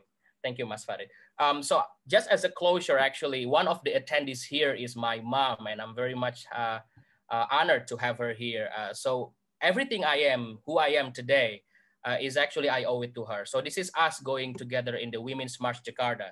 And this is also my sister. Uh, she's now eight years old and she went to the march with us. I, I am in the Darth Vader suit, by the way. So that's why why I went there because she's a living testament, a living embodiment that women can be anything that they want to be. But sometimes, you know, gender equality or gender justice is not a choice. It's what happens to you and how you act, act upon it. Sometimes when you say women should, you know, women should be at home and, you know, just do the dishes and do domestic work. My mom didn't have that privilege because my mom was was actually, you know, um, uh, you know, she's been a single parent for many, many years of her life, and she was in a forced marriage, and she survived it, uh, like sexual violence, etc. But she kept coming back for more, and she wants to prove that actually women can do anything they they they, they can to actually raise a, a, a generation of children that actually believes in equality. And I'm happy to be a part of the generation, and I'm happy and proud to be uh, to be raised by my mom. I'm going to be in tears now. But anyhow, so um, this is what I'm saying is like, uh, we have to look around us and, and, and see, I think, especially to men and boys, when we are trying to impose certain masculinities towards other men or, or you know, to, to, to subjugate other women around us and girls, we have to question ourselves what kind of context and what kind of life they're living, because not all of us have this perfect nuclear family, etc you know um, all of us sometimes you know many of us also have imperfections that have, we have to settle with and at the end gender justice is not a theory. Gender justice is how you survive in life. So this is why we should support this agenda in the first place because everything has to be equal and, and just uh, in the first place you know with or without the uh, all of the uh, issues that we are uh, hearing right now. So maybe that's all about uh, that's all from me. Uh, thank you very much for the opportunity. I'm very happy to discuss this more with you. Thank you thank you thank you so much mas jian uh, not only for uh, sharing about just a second.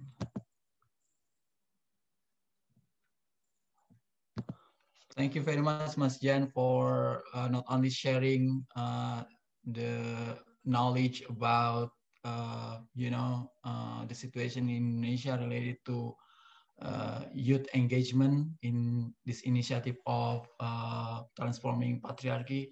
But also the most important thing is to show your profile that as a young generation, it is possible to transform, you know, like sometimes we we as a you know the older generation feel hopeless when it, when we see the younger generation but showing your profile with your presentation, uh, it turned us to be very optimistic to see that uh, in the next future there is a hope and even uh, a big hope, you know, that's uh, especially in Indonesia, you know, like people like you can lead uh, this kind of movement, not just the, the program, but also the movement that, uh, you know, in personal level, in ideological level, in as you said that in the even in the structural level we can change you know with with uh, young generation like you. And i hope i can see more people like you be engaged in this kind of program in, in this kind of uh, social movement.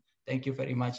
Um, i think one thing the point that you show is you know the feeling of uncomfortable of being you know people or young young men who just follow the hegemonic norm of being men you know men who like to uh, uh, you know, oppress other women, who harass other women, men who, you know, that's that, that's kind of profile. We need to be uncomfortable to feel like that, you know, and then transform into uh, into new men who, you know, uh, against that kind of thing, oppression, uh, discrimination, and violence against other genders uh, minority. Thank you so much again.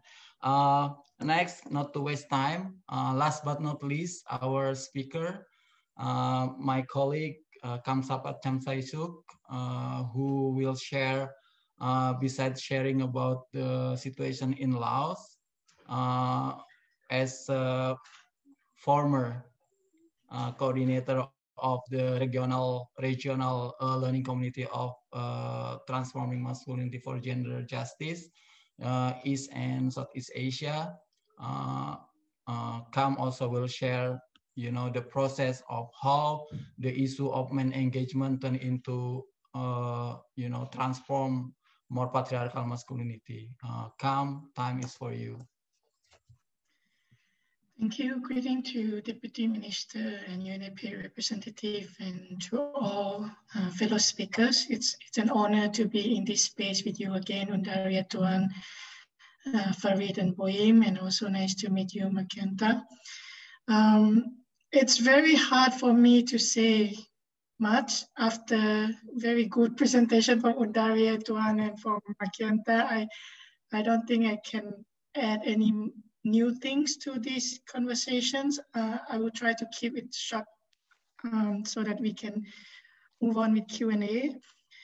Um, I must say that the work on addressing patriarchal masculinity in my country is rather new and frankly speaking, quite uninspiring. So we don't have good lesson learned or recommendation to, to provide. But my attempt is just to try to actually use the analytical framework laid out by Undariya in understanding patriarchal masculinity in my country. And hopefully that analysis can inform the work with men and boys and also with women and girls. Uh, next slide, please. So for those who have been to my country, to this peaceful, quiet capital, Vientiane, or some big, big cities in Laos, um, it's likely that your first impressions about gender equality in my country is quite deceptive because you can see that women uh, actively participate in social, political, and economic cultural life. Uh, there are certain gender norms practiced by men and women, um, but nothing seems to be so alarming or of a serious concern. And inequality and gaps between the two genders do not seem to be so big, especially in urban and public settings. However, the reality informed by data and evidence tells a different story, particularly for rural and ethnic minority women and girls more than 60% of Lao population live in rural areas. So that's one condition. Second condition is that we have more than 49 ethnicities in our countries. And with 49 ethnicities, we have difference in cultural practices and belief. So with economic progresses in my country, um, poverty remain concentrated in in rural areas and particularly very high among ethnic minority groups living in rural areas. And rural and ethnic women are worse off than any other groups in the society and in the countries. Female-headed households are poorer than male-headed households. And female rural ethnic household is much, much poorer than any other house, uh, headed households. Um, rural and ethnic women are disproportionately impacted by different factors and, and, and have the lowest measures in their well-being. When it comes to sexual and reproductive health, we now, as you know, as you even know that it doesn't exist, some people don't even know where that is, but what we are known for, it's three things. We are um, we have the highest early, early marriage in the region. We have the highest teenage pregnancy in the region, and we have the highest maternal mortality in the regions. So that also signifies the inequality uh, and issue faced by women in the country. When it comes to education, again, female literacy rate is still lower than male literacy rate. And um, male, uh, female, uh, women's access to economic opportunities um, and formal sector is still lower than male sectors, uh, than, than men. Divisions of labor in public and private spaces are very gendered. Um, women and girls share a big burden of care works and responsibility at home. Uh, men's work is seen as more value and given more social and economic worth and women work is underpaid, underestimated, and definitely undervalued. And this even more is true, truer, more true for, for women working in rural areas, doing agricultural works, taking care of family, taking care of animals, and also doing household chores and also generating incomes. And even in Laos, when it comes to legislation, legislations, we do have good laws. Uh, men and women are equal regarding land tenure, property uh, ownerships, and inheritance rights. But customary, customary, customary practices often override official law. So in, for many ethnic groups, uh, land ownership is patrilineal. So only sons inherit lands, but not, not, not, not daughters. Um, and politically, uh, women's representation, representation is rather low. It's less than 20% in our National Assembly. It's only 1% uh, of women heading the village um, and, and very few uh, in business sectors. And lastly, for violence, um, more than 15% of women aged from 15 to 49 experience physical and or sexual violence in their lifetime. An attitude and acceptance of violence norm in family is very high. So more than 50% of Lao men and women thinks that family violence uh, or violence against women at home can be justified uh, if there are certain specific reasons. Um, and then uh, traditional practices often do not hold perpetrators accountable. Next slide, please. So why I highlighted women issues in Laos when our webinar is about patriarchal masculinity, I would like to highlight this issue inequality faced by women in my countries and my girls in, and, and women and girls in my countries because the patriarchal norms that mandate superior of masculinity over femininity as highlighted by Undariya Tuan and, and Margianta. And patriarchal masculin, masculinity has put women and girls in a very disadvantaged point um, in my country. It gives more power to men over women. It mandates men's superior, superiority over women. And also it provides men with privilege what we call male privilege. Um, and it creates this gap that I just mentioned among men and women and boys and girls. And if we are talking about equality in our country and development, sustainable development, peace and security for all the all people, regardless of gender, that cannot be achieved if we continue to have this gap.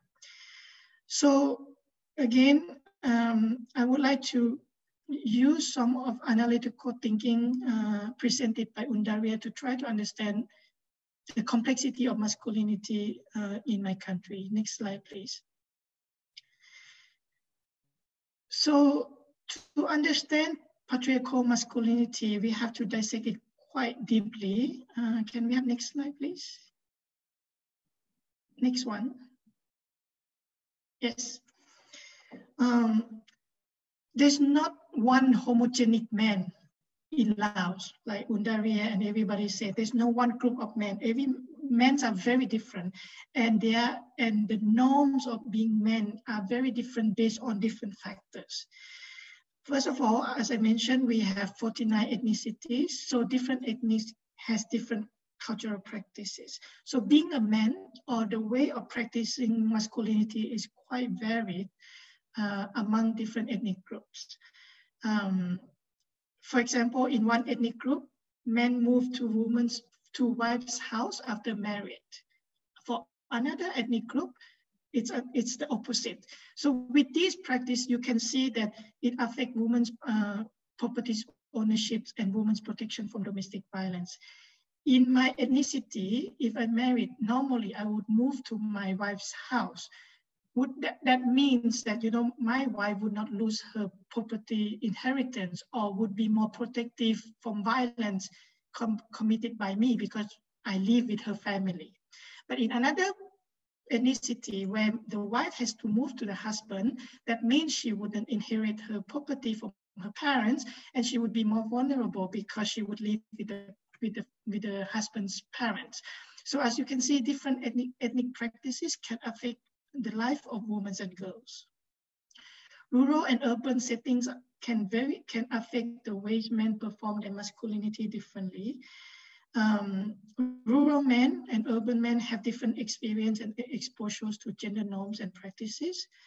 Um, and they have different powers. You know, the, the, the, the pyramid that Undariya was mentioning, rural men and urban men do not share the same power when it comes to gender and access to resources. Um, and, and also, if you add the complexity of that, you know, urban women have more power than rural men, for example.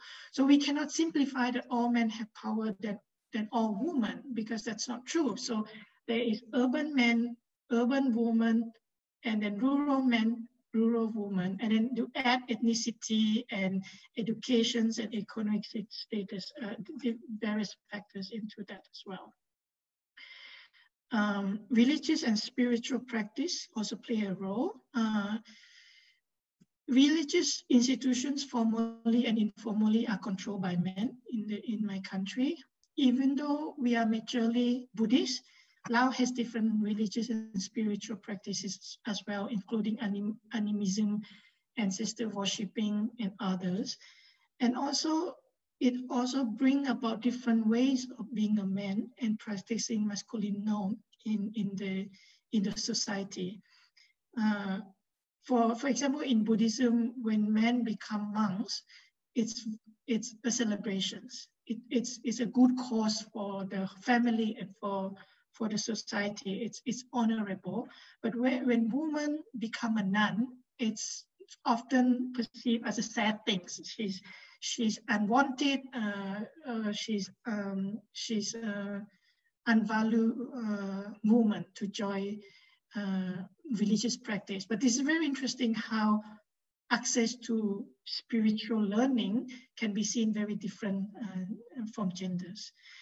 So again, um, using Undariya's uh, and other speakers' uh, point about masculinities in plural forms, in Laos as well, there's not one masculinity. Uh, it, there are very different ways of masculinity.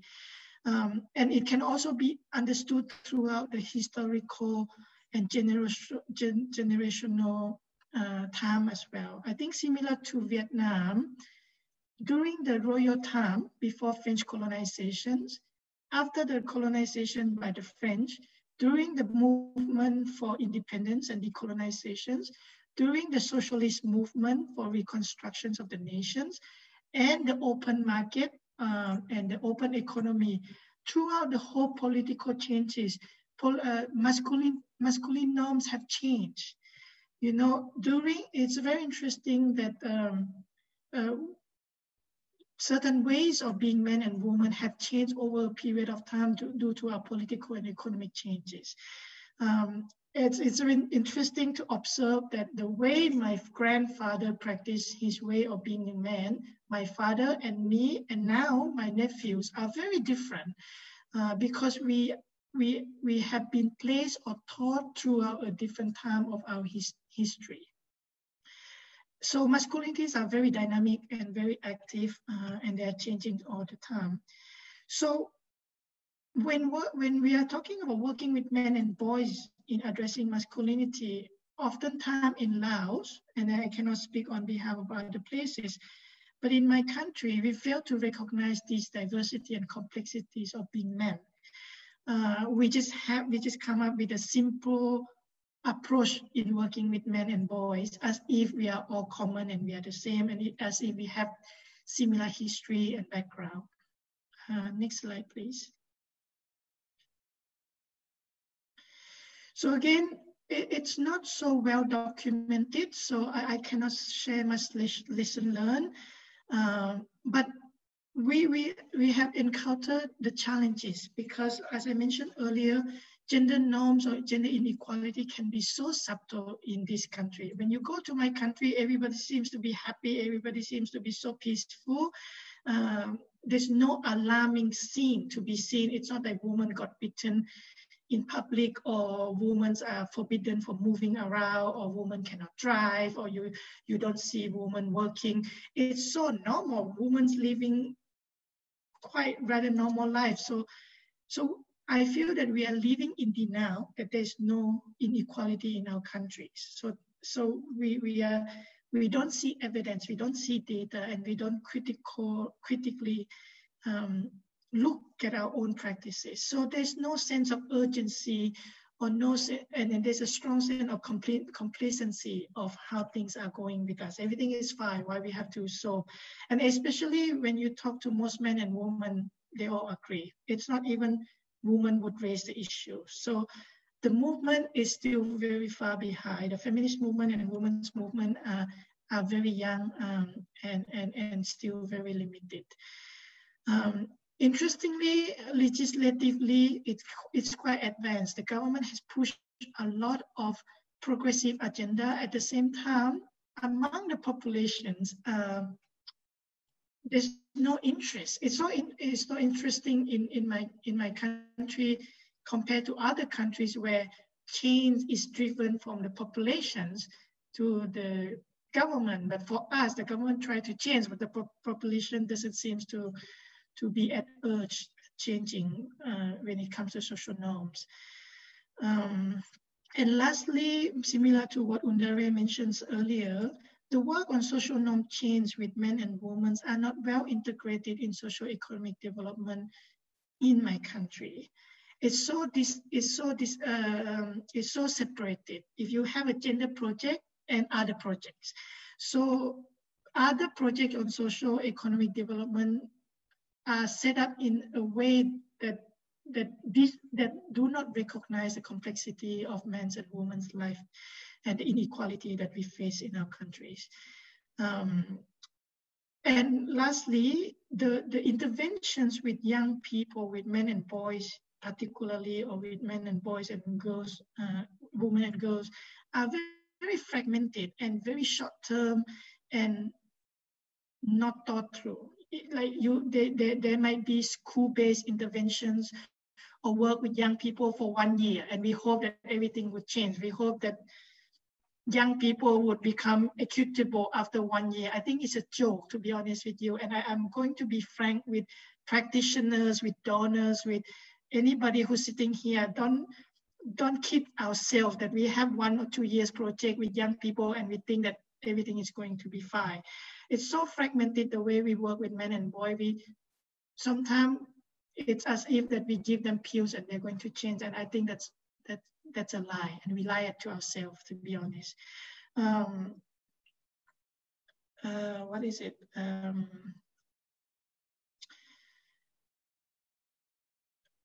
yeah, so again, addressing masculinity, we have to understand different dimensions of being man and, uh, and, and masculine norms.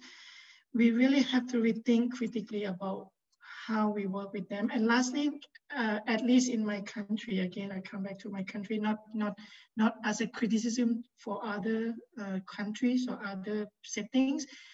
I don't think the work with male champions for us work. You know why? Because we tend to pick one or two or three male models in the country, either the singers or someone who famous, uh, and ask these male champion to be male models or good role models for other men and boys in the country. But that model is a failure because it doesn't talk about the complexity of men in my country. You cannot have a very cosmopolitan, elite, well-educated, handsome man talk about how to be men with rural men who's poor, um, who's uneducated, who who's trapped in poverty. You know, it's this this attempt to have a few human male being portray the way of being good men doesn't reflect the reality of men in my country. So I, I hope that we move beyond that. I hope I hope it's more inclusive and it's more analytical when it comes to um, creating good men for, for our countries. Um, and lastly, interestingly, for because we are so connected now, virtually, certain gender norms in Laos are quite influenced by regional and global norms. So what we practice in our country cannot be separated with what practice in other countries. Uh, I think Margianta mentions about pop cultures, for example. It's very interesting to see how Korean pop cultures influence young people in my country, for example uh, we talk about men don't cry. My father wouldn't cry. My grandfather wouldn't cry. But for my nephew now, crying is so romantic. Um, so, you know, but it's not from within, it's from Korea, somewhere far away from us. But how our social norm and gender norms are influenced by by our neighbors and and and, and external um, environment. Next, please. Uh, opportunities for transforming. I think we, we have the opportunity with young people of being more flexible and less rigid with, with, with social norms and gender norms. However, the, um, the window of opportunity working with young people is very small because, you know, before the, the gender norms are so ingrained uh, so that they couldn't change. So, so Lao is one, we now having what we call demographic bonus, where we have most young people in our, in, in, in our history, and it's going to decline as we have more aging population. So for our country, this is the moment to try to build norms among young people, because in the next five to 10 years, these, these young people will lead the country in social, economic, and political uh, fact, um, arenas.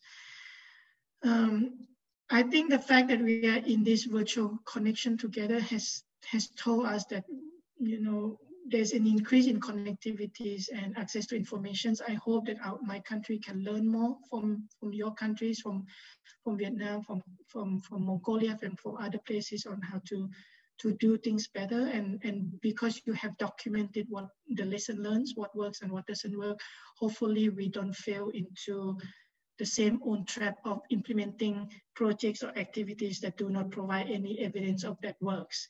Uh, hopefully we are smart in in applying the lesson learned from other countries. Next one please. Just a little bit uh, yes the last one. come two more minutes to finish yeah, the presentation thank you. I think this is not really linked to, to Laos, but I, I think Boeing uh, has asked to, to me to share some, some reflections about regional movements. Uh, I think East and Southeast Asia has become more connected, and especially if you heard that I think our governments, the ASEAN government, uh, with four other countries have to sign a trade uh, agreement last week. Uh, in the future, there seems to be a bigger plan for our region to be more connected. So politically, economically, and environmentally, we are going to be very connected. So the well-being of one nation is connected to the well-being of another nation. We have learned that from Europe, we have learned that from Africa and from other regions. I think regionally, we have to think collectively um, that, you know, what whatever happens in one country can really affect another country. So politically, economically, and and when we talk about climate change, that also influence our life in the future. So there's a call for us to work on gender justice collectively, not separately. Uh, we can influence over another. Uh, we have ASEAN Forum, we have ASEAN plus three, plus five, plus 10. I think different governments and at the governmental level, at the civil society level, at the business private sector level, I think we can influence each other a lot and we can, can support and learn from each other a lot. Regional norms, uh, this is difficult and this is quite uh, utopia, but at the same time, I think we, we, can, we can all aspire to be equal to be safe and to be happy regardless of who we are. So hopefully we, we can have that common ground to, to, to, to build this movement together. Um, and lastly, if we can have the movement for positive change for the in, in, entire region, uh, it, it, it stabilize our region and it helps us to prosper as a region. Um, thank you so much.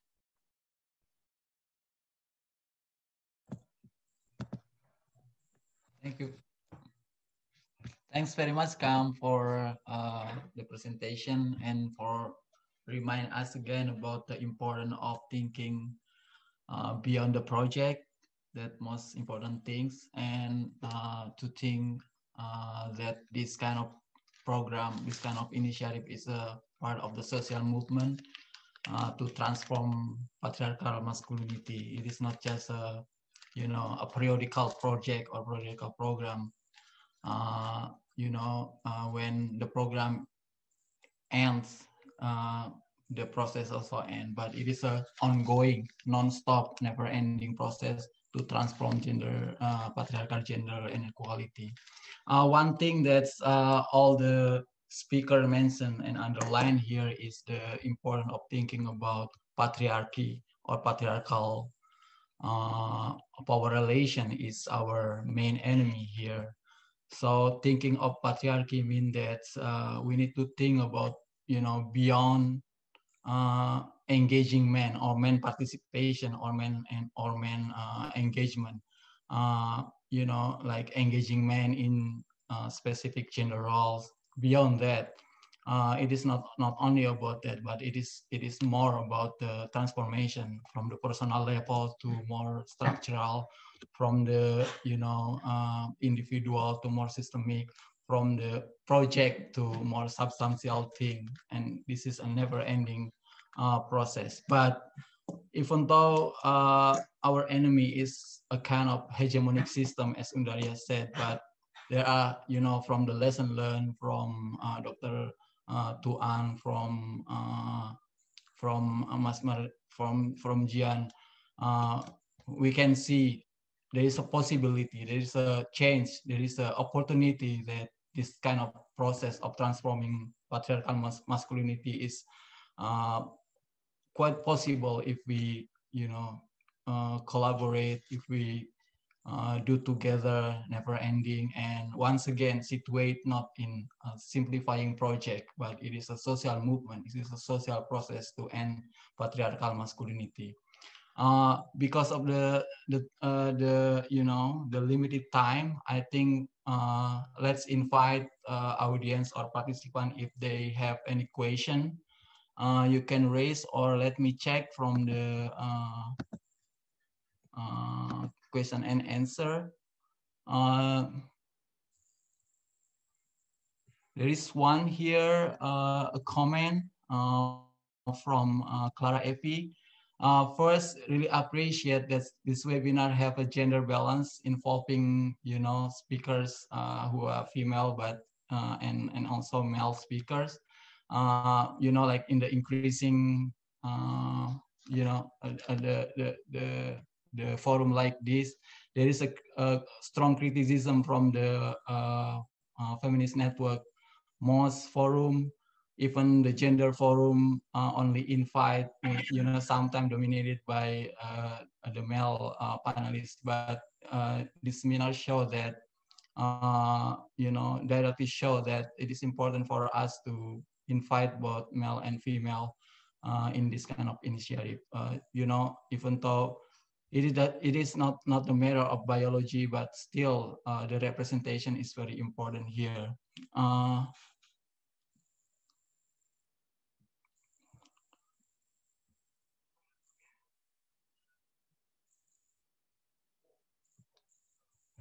Yeah, uh, I think one question here is very important to to mention about uh, you know different kind of strategy how to uh, transform uh, patriarchal masculinity. Uh, uh, you know, as as I said before, how to to to broaden our initiative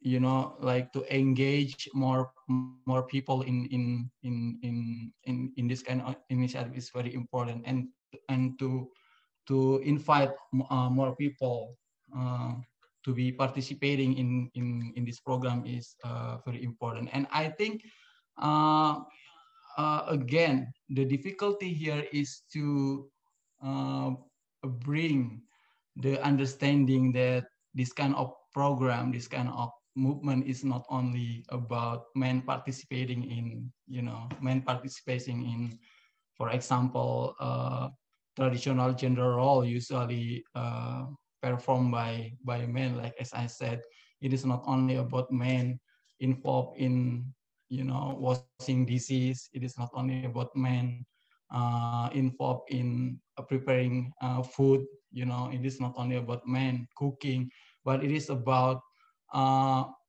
you know, movement against oppression based on gender. It is about uh, justice. It, it is about uh, freedom and respect among different genders or gender, gender diversity and sexual diversity. Uh, maybe if we don't have any question here or, or any any uh, any anyone want to uh, have question, please uh, raise your hand. Nobody? Harish, there, there is one, one hand that has been raised. We, we not. Okay, please, if you would like to.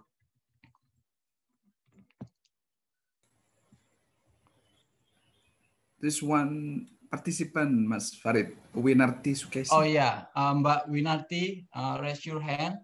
Uh, please, if you wanna, uh, uh, you know, uh, express your question. Okay, thank you.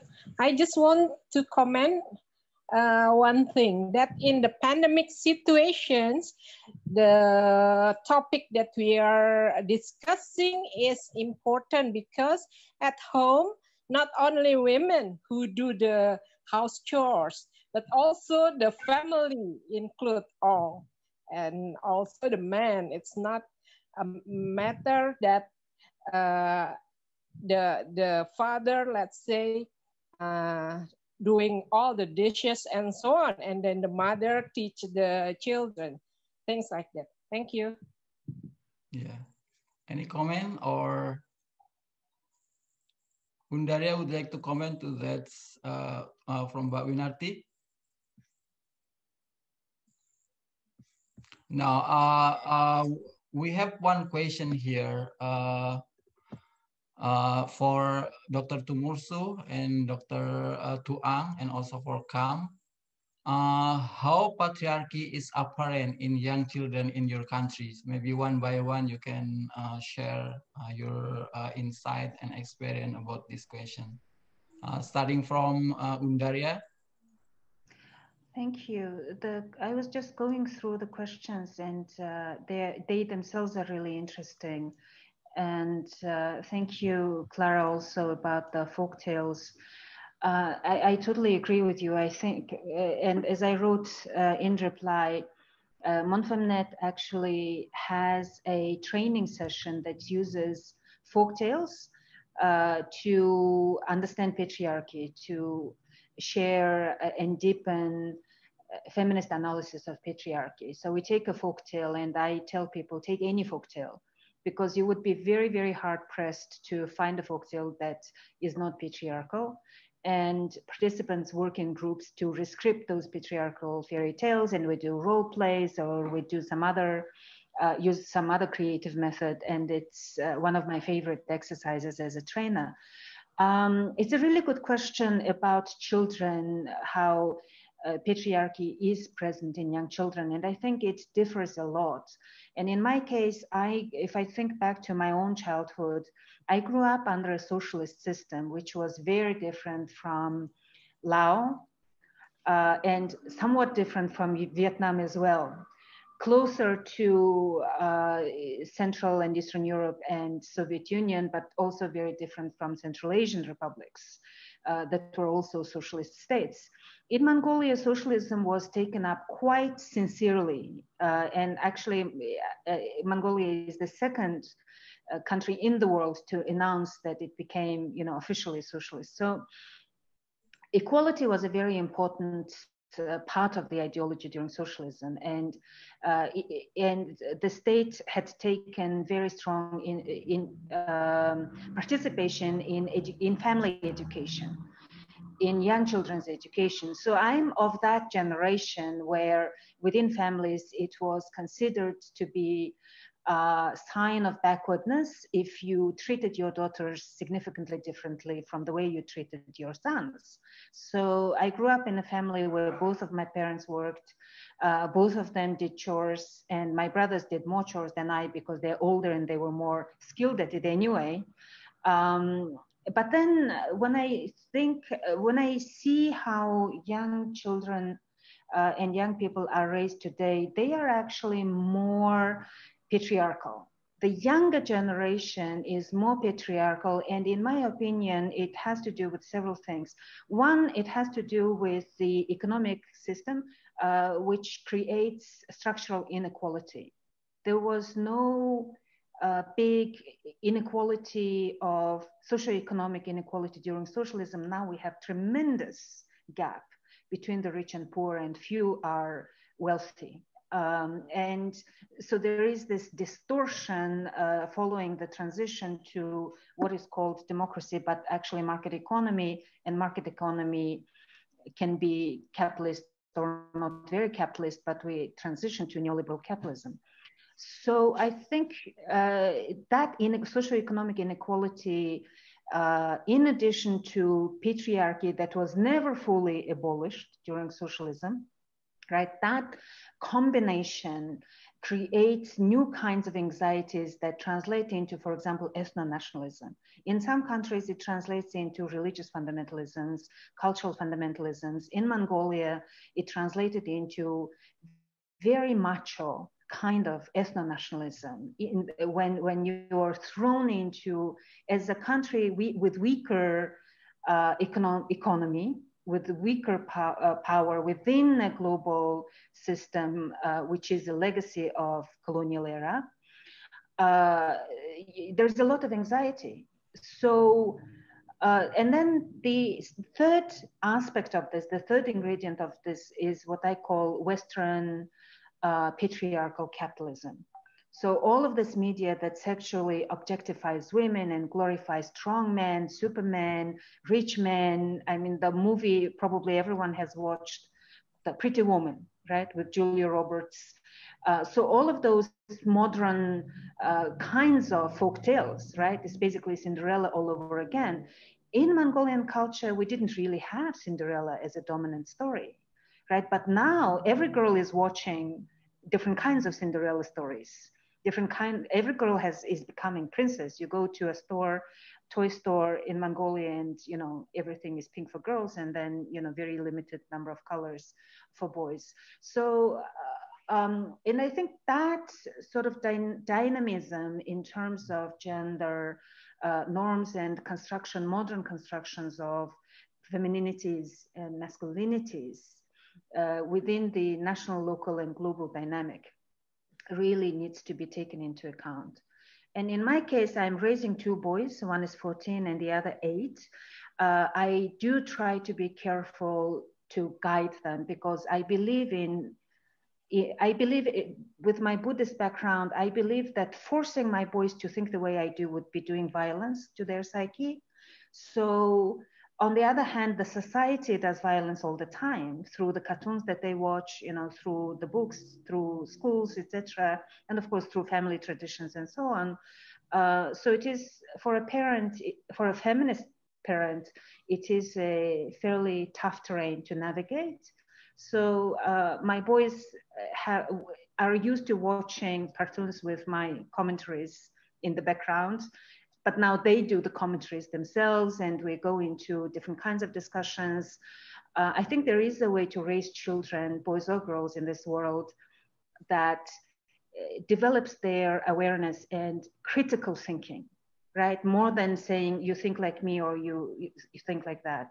So i think it is complex. I cannot say that there is one kind of influence for young people today but i think the dominant influences are quite discouraging in many ways yeah, thank you, Daria, for providing that answer.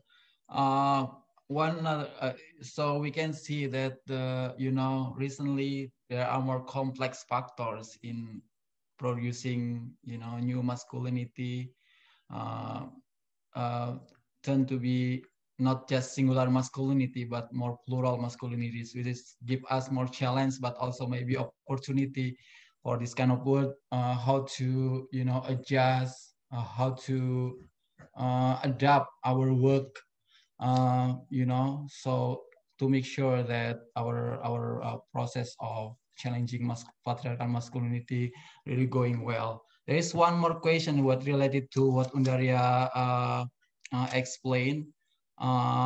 here is about capitalist market. The question is from Ayun Amriti. you know, it, this is another uh, hegemonic system, the capitalism.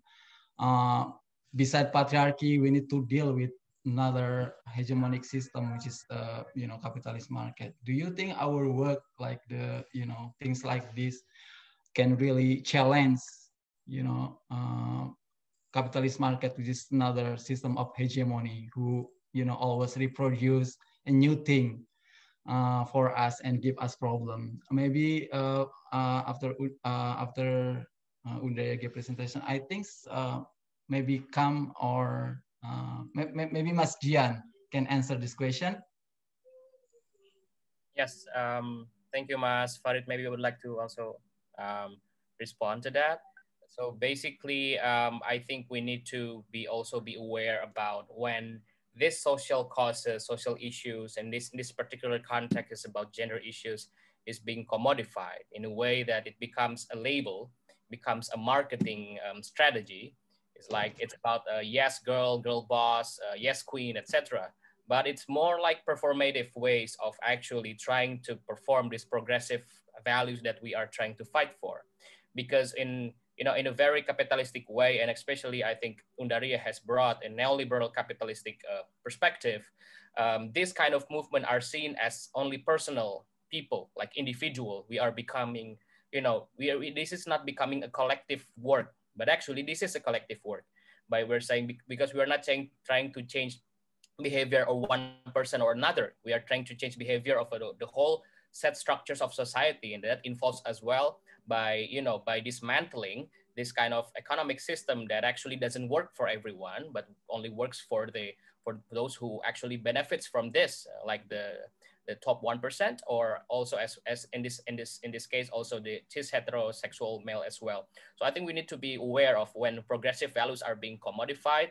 And also we can always see for for instance when we buy something there is this so-called feel good philanthropic um, um, campaigns you know like by buying this you are contributing to this cause etc but the same company also treat their women workers you know by not giving their menstrual leaves by by by by letting go any you know gender based violence in their workplace and asking them to sign ndas um, and also by by by keeping the gender pay gap within their companies and their and their factories or or, or you know maybe they're you know you can have um, i'm a feminist t-shirt but then, at uh, you know, those very t-shirts could be uh, um, produced by some sweatshops around Southeast Asia or East Asia. You know, you will never know. So we have to be, I think, in a way that also intersectional, in a way that we have to see this not only as you know expressing or feel good charities, social values, but also we have to see this from a social, political, economic justice perspective as well, by also supporting, by, by also supporting to dismantle all of this kind of system that actually making profits out of the cause that we genuinely care about and we genuinely want to change as a collective not as individuals. Because when we talk about individuals then we become disintegrated and there are gaps that we want to close right? There are gaps the power that we want to close. There are the hierarchies that that we want to actually uh, you know make a more more just society from that. So actually uh, i think that's my my take uh, mas mas farid. It's about collectivity not individuality and it's about moving beyond um, performative activism performative commodity fetishism of this progressive value that we are trying to fight for. Thank you very much, Mas Jian. Uh, once again, we need to think, you know, and being aware about the complexity and the dynamic of working on patriarchal masculinity transformation. Uh, you know, uh, our enemy are a lot, but one thing we need to say that even though there are a lot of enemies uh, on working on this, don't kill our hope, you know, uh, together we can do better and going on, ongoing. Uh, once another question here is coming from Vidya Hutagalung. Uh, she has a question about the challenge of uh, uh, working on mainstreaming gender equality among the boomers. And this is another challenge too, in you know, in the uh, uh, these days, we, we, we never imagined before with the internet ongoing, with the social media ongoing, with the new things ongoing you know, a lot of things uh, tend to be our challenge and difficulty, but there are always strategy. Maybe uh, Kham would like to answer about how to deal with this kind of, you know, new community uh, on working on gender equality. But I, I must ask, can you explain what boomers is and who you consider as boomers? Maybe uh, like older generations, like 50 and above, yeah, how do we define boomers? Because my country boomers is definitely not mm-hmm. 70 or 60. Boomers in my country would be now like 40 years old, you know? Okay. Yeah, I, I think that's also need uh, uh, the, the, the key point here, you know, need to think uh, contextually in every local or, you know, national context. Uh, who are the boomers maybe in the state here boomers are different with the boomers yeah. in laos uh, i'm considered boomer right now.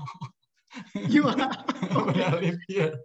So but, but once again i think the point here is you know different generation different location different community need uh, different strategy to work on yeah. these kind of things you yeah. know but there, there are a lot. Jadi banyak praktek-praktek baik. Jadi kita bisa belajar bisa belajar dari dokter Chuang dan pembicara lain karena tidak ada solusi tunggal, jadi ini sangat penting.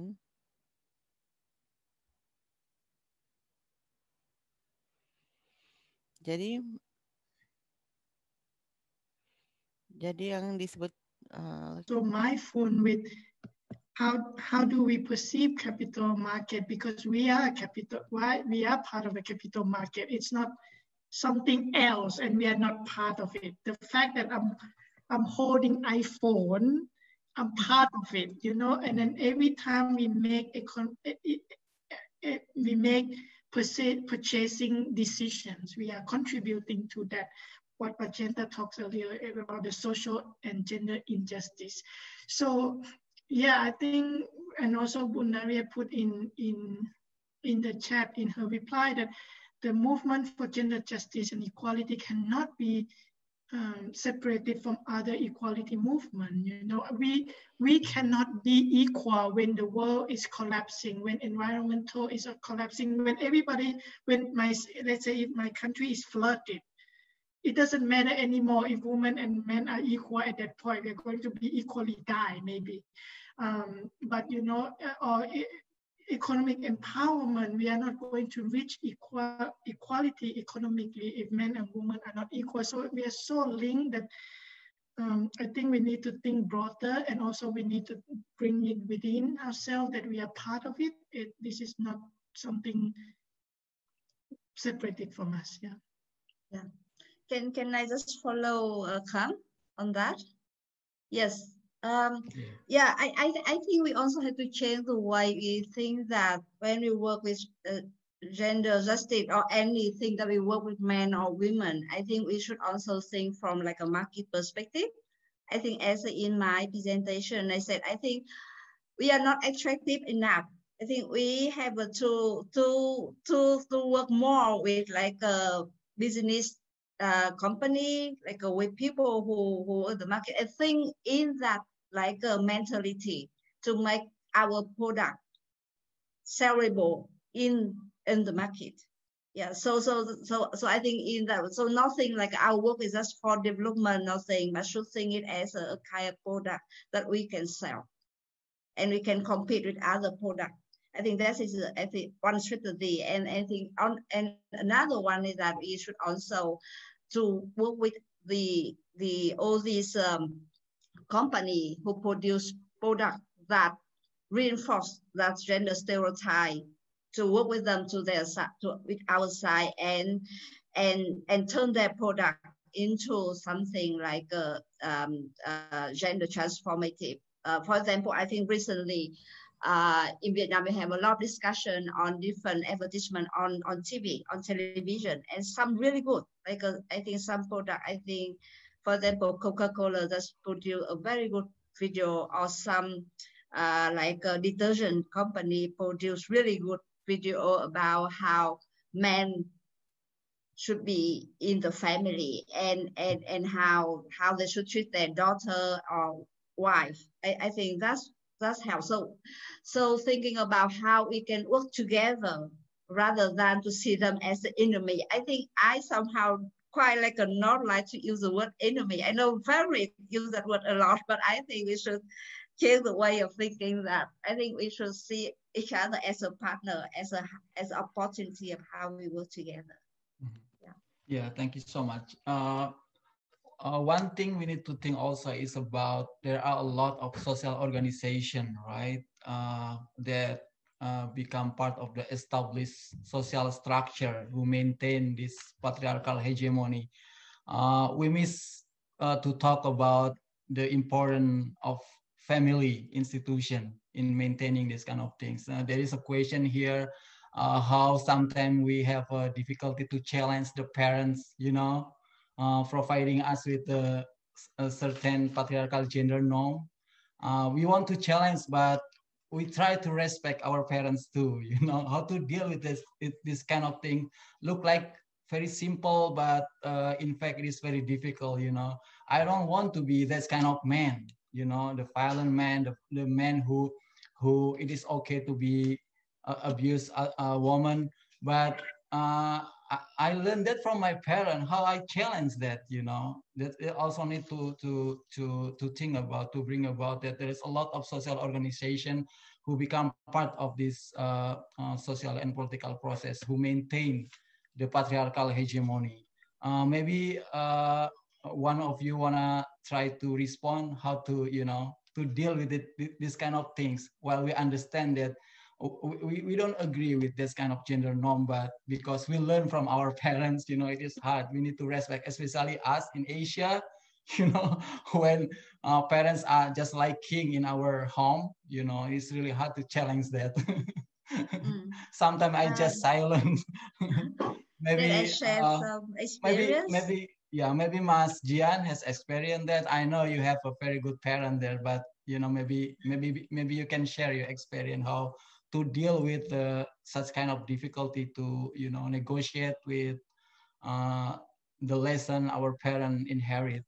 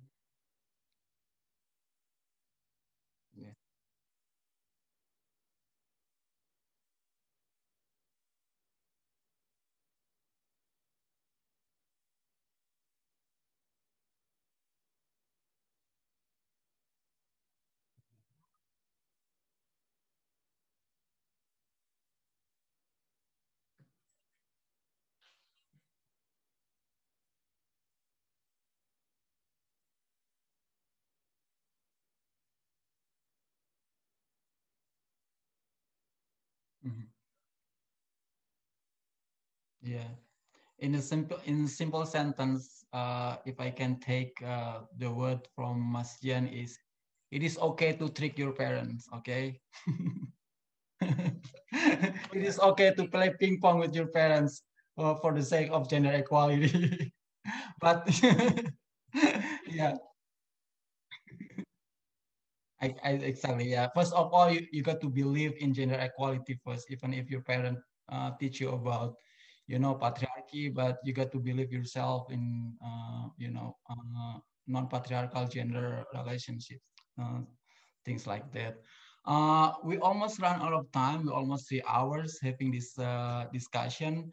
Uh, but before we end i know that there are still a lot of questions over there. Please don't hesitate to contact the speakers. I think they will be very welcoming all of you with uh, any question. Uh, maybe you can contact the organizer if you would like to have the speakers contact to the, the email especially. I, I know that some of them are very active on Facebook too. you know, you can be friend of them. but before that, uh, I would like to remind participant and audience to please fill up the uh, evaluation form and also the attendance list provided by the organizer. Uh, would would you know? Would you like to continue or we end the discussion uh, now? I think uh, Kham looks so sleepy now. It's, it's almost uh, midnight in New York, right?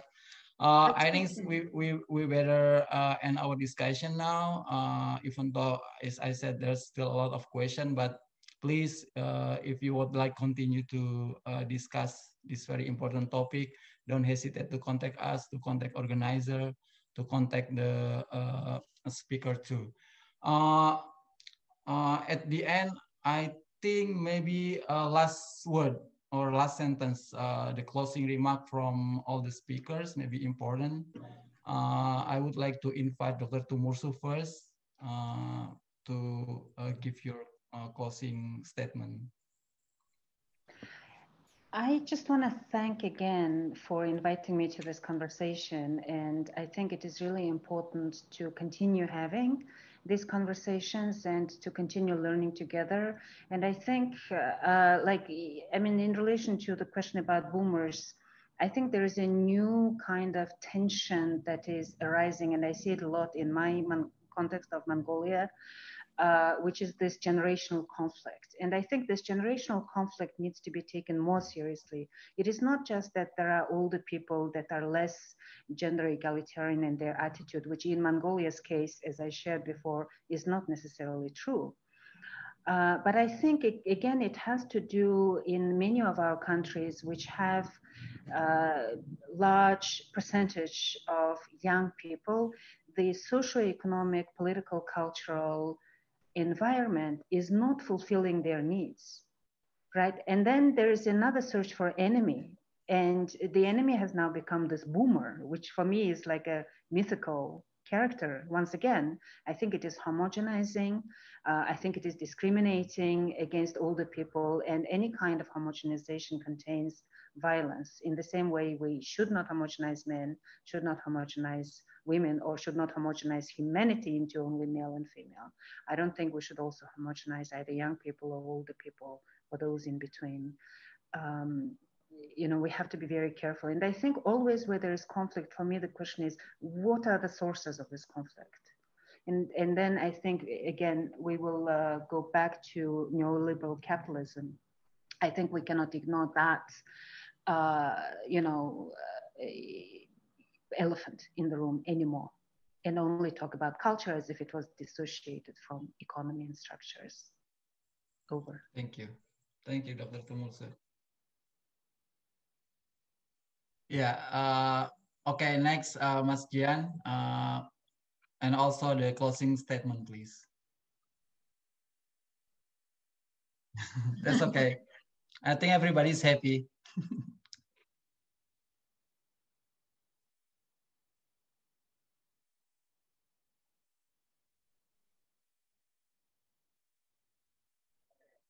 homogenisasi dari poin saya sebelumnya beberapa nilai progresif yang sepertinya ini sepertinya asing di negara saya bahkan disebutkan bahwa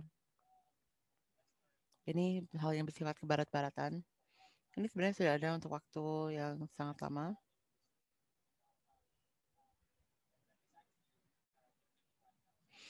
Nah, yang sebenarnya kita kampanyekan, jadi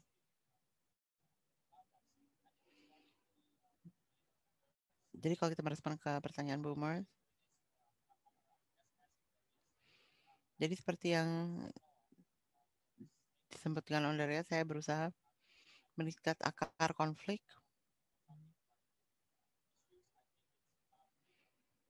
Jadi ini ada diskriminasi atau agisme yang ada di Asia Tenggara. Agisme. Jadi anak-anak muda itu dilihat sebagai tidak kompeten, mereka tidak punya pengalaman. Tapi tidak boleh kayak menggeneralisasi populasi. Jadi kita perlu pembelajaran antar generasi, jadi banyak hal yang bisa belajar dari generasi sebelumnya dengan membuang ageisme atau diskriminasi berdasarkan umur karena pengalaman-pengalaman ini juga aset jadi itu pengalaman langsung jadi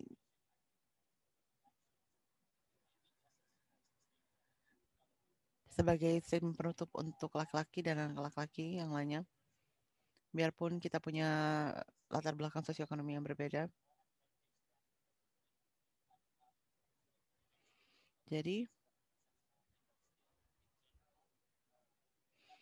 secara umum kita tidak bisa memungkiri bahwa kita lebih berprivilege dibandingkan dengan minoritas lainnya. Jadi kita perlu kita perlu sadar akan privilege kita. Jadi kita harus melihat tahu diri dengan posisi kita sebagai sekutu. Kita jangan mengambil uh, panggung dan pada akhirnya mungkin kita tidak perlu memberikan mikrofon atau kita tidak perlu membesarkan suara orang lain atau mungkin uh, pada akhirnya kita semua punya suara yang sama perempuan itu tidak perlu tidak akan perlu untuk uh, mendapatkan uh, dibantu untuk dikeraskan suaranya oleh pihak lain jadi mungkin pada akhirnya semua itu bisa punya suara yang sama jadi kita tidak hanya tentang kesetaraan tapi keadilan untuk semua latar belakang sosioekonomi melalu, melampaui semua model sosioekonomi yang mendapatkan keuntungan dari hal-hal ini. Jadi kita harus mempraktekannya dan ini mulai dari lingkungan kita, dari keluarga, dari teman dan kita harus melampaui dan semua aksi itu berarti. Jadi itu pernyataan penutup saya. Jadi sekarang saya ingin berikan waktu pada Dr. Joan.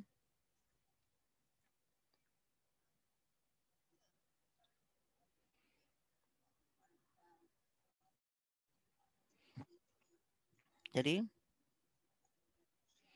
terima kasih bisa berbagi pengalaman.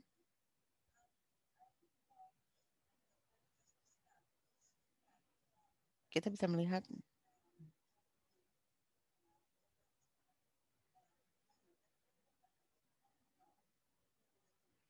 Jadi kita tahu bahwa ini bisa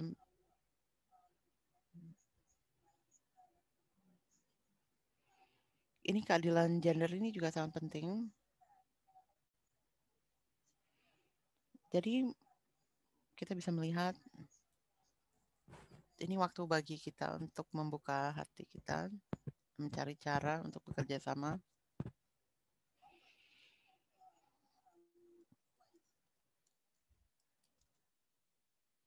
Jadi ini kita harus mencari cara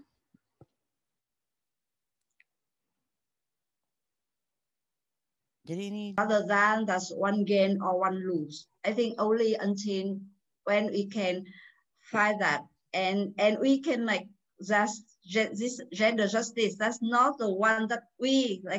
I sometimes feel think like a few us want, but the gender justice should become something like a some product that everyone, every family, every man, every woman, every other gender, every children want.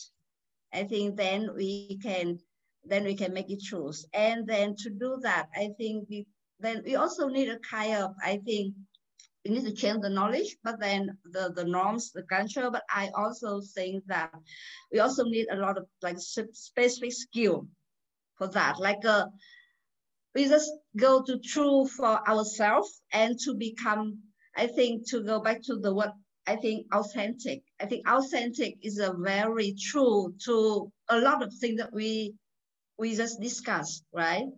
The authentic of ourselves, the authentic communication, the authentic pride that that that we we we want to have and and and that's one example that I think we can say like um, uh, like a, to be to be to be authentic about what we feel comfortable, but also to be authentic of what we feel uncomfortable, and to be able to talk about that, to share about that. And and before we want to, I think one thing that I I I learned a lot is that before we want to change someone, I think we should change ourselves first and because of a lot of things we talk about gender, actually we also ourselves have a lot of stereotype in ourselves, in the way we look at other people. And, and, and only until we can open about that, we can change about that, then we can change things. And, and, for, and, and I think accepting or silent uh, before, like uh, when you confront something about gender bias, it's not a good strategy, even if it's your parents, because uh, I think keep silence not solve the problem.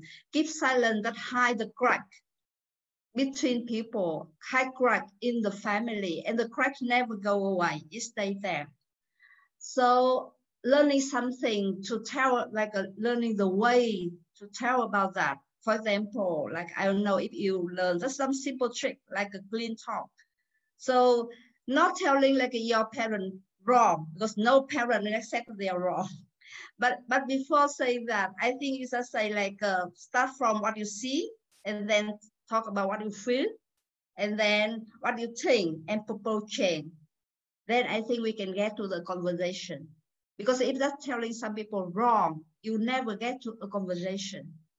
But if say like, uh, I see that, I see that you you are asking your sister or your daughter do something that I think is not relevant. And I feel that it's, you are losing an opportunity for you to get a better understand of your your daughter and and and I think that you can do a better job as a father because I know that you love your daughter and I propose that we can sit together one time, that we can have a deep talk about this. And, and I'm sure that this can help you to have a more valuable time, valuable conversation with your daughter. I, I think I think that's a way, and there are different techniques that can help us to to get over this difficult conversation and even get a quality conversation. And, and again, I always find conversation and dialogue should be the solution. Yeah, thank you. Thank you very thank much. Thank you, Dr. Anh. Thank you for uh, being here. And last but not least, uh, come before you going to bed, please deliver your closing remark. Thank you, Farid. Um, I think the the advantage of going last is that I don't have much to say because other speakers have highlighted very important things. Actually, my my ending would be very similar to what they said. Um, three things. One is that um, the problem is not a simple problem. It's a very complex problem, so we cannot have simple solutions. We have to keep that in mind in our field. We cannot propose simple solutions to changing people's lives. Um, so we need to be cautious with that.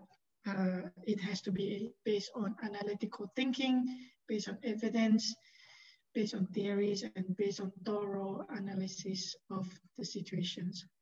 Secondly, the work has to be grounded on feminist principles and feminist analysis that Undariya has framed at the beginning. And we cannot highlight enough the importance of linking our work with other justice movement social justice, racial justice, economic justice, and environmental justice. We cannot be equal and we cannot live in a happy, safe, dignified life if other factors of our lives are being threatened.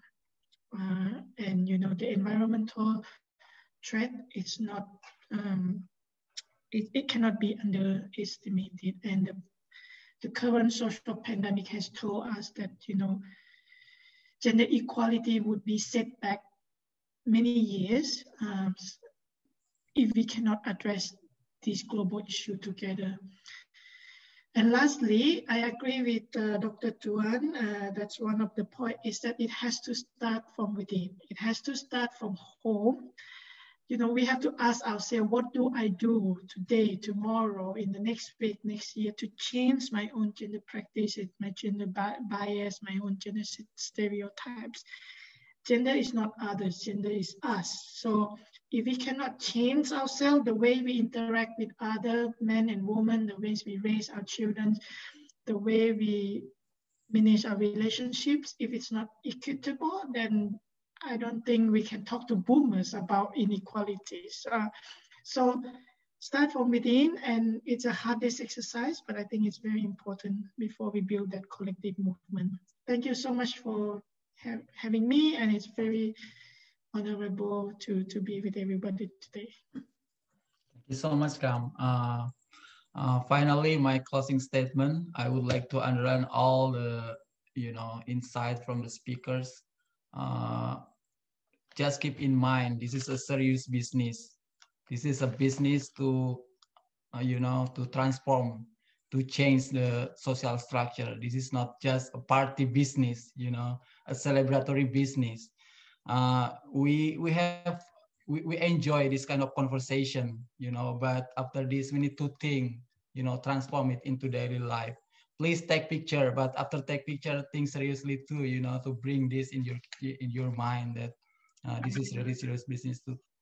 You know we, we our social movement is against the patriarchy that's already built in the dinosaur era. I mean the prehistoric era you know uh, and transform into in, into recent times with the capitalism, with the you know uh, internet, things like that. Uh, with even with the uh, new political system, maybe with Trumpism, no, you know, everything's happened.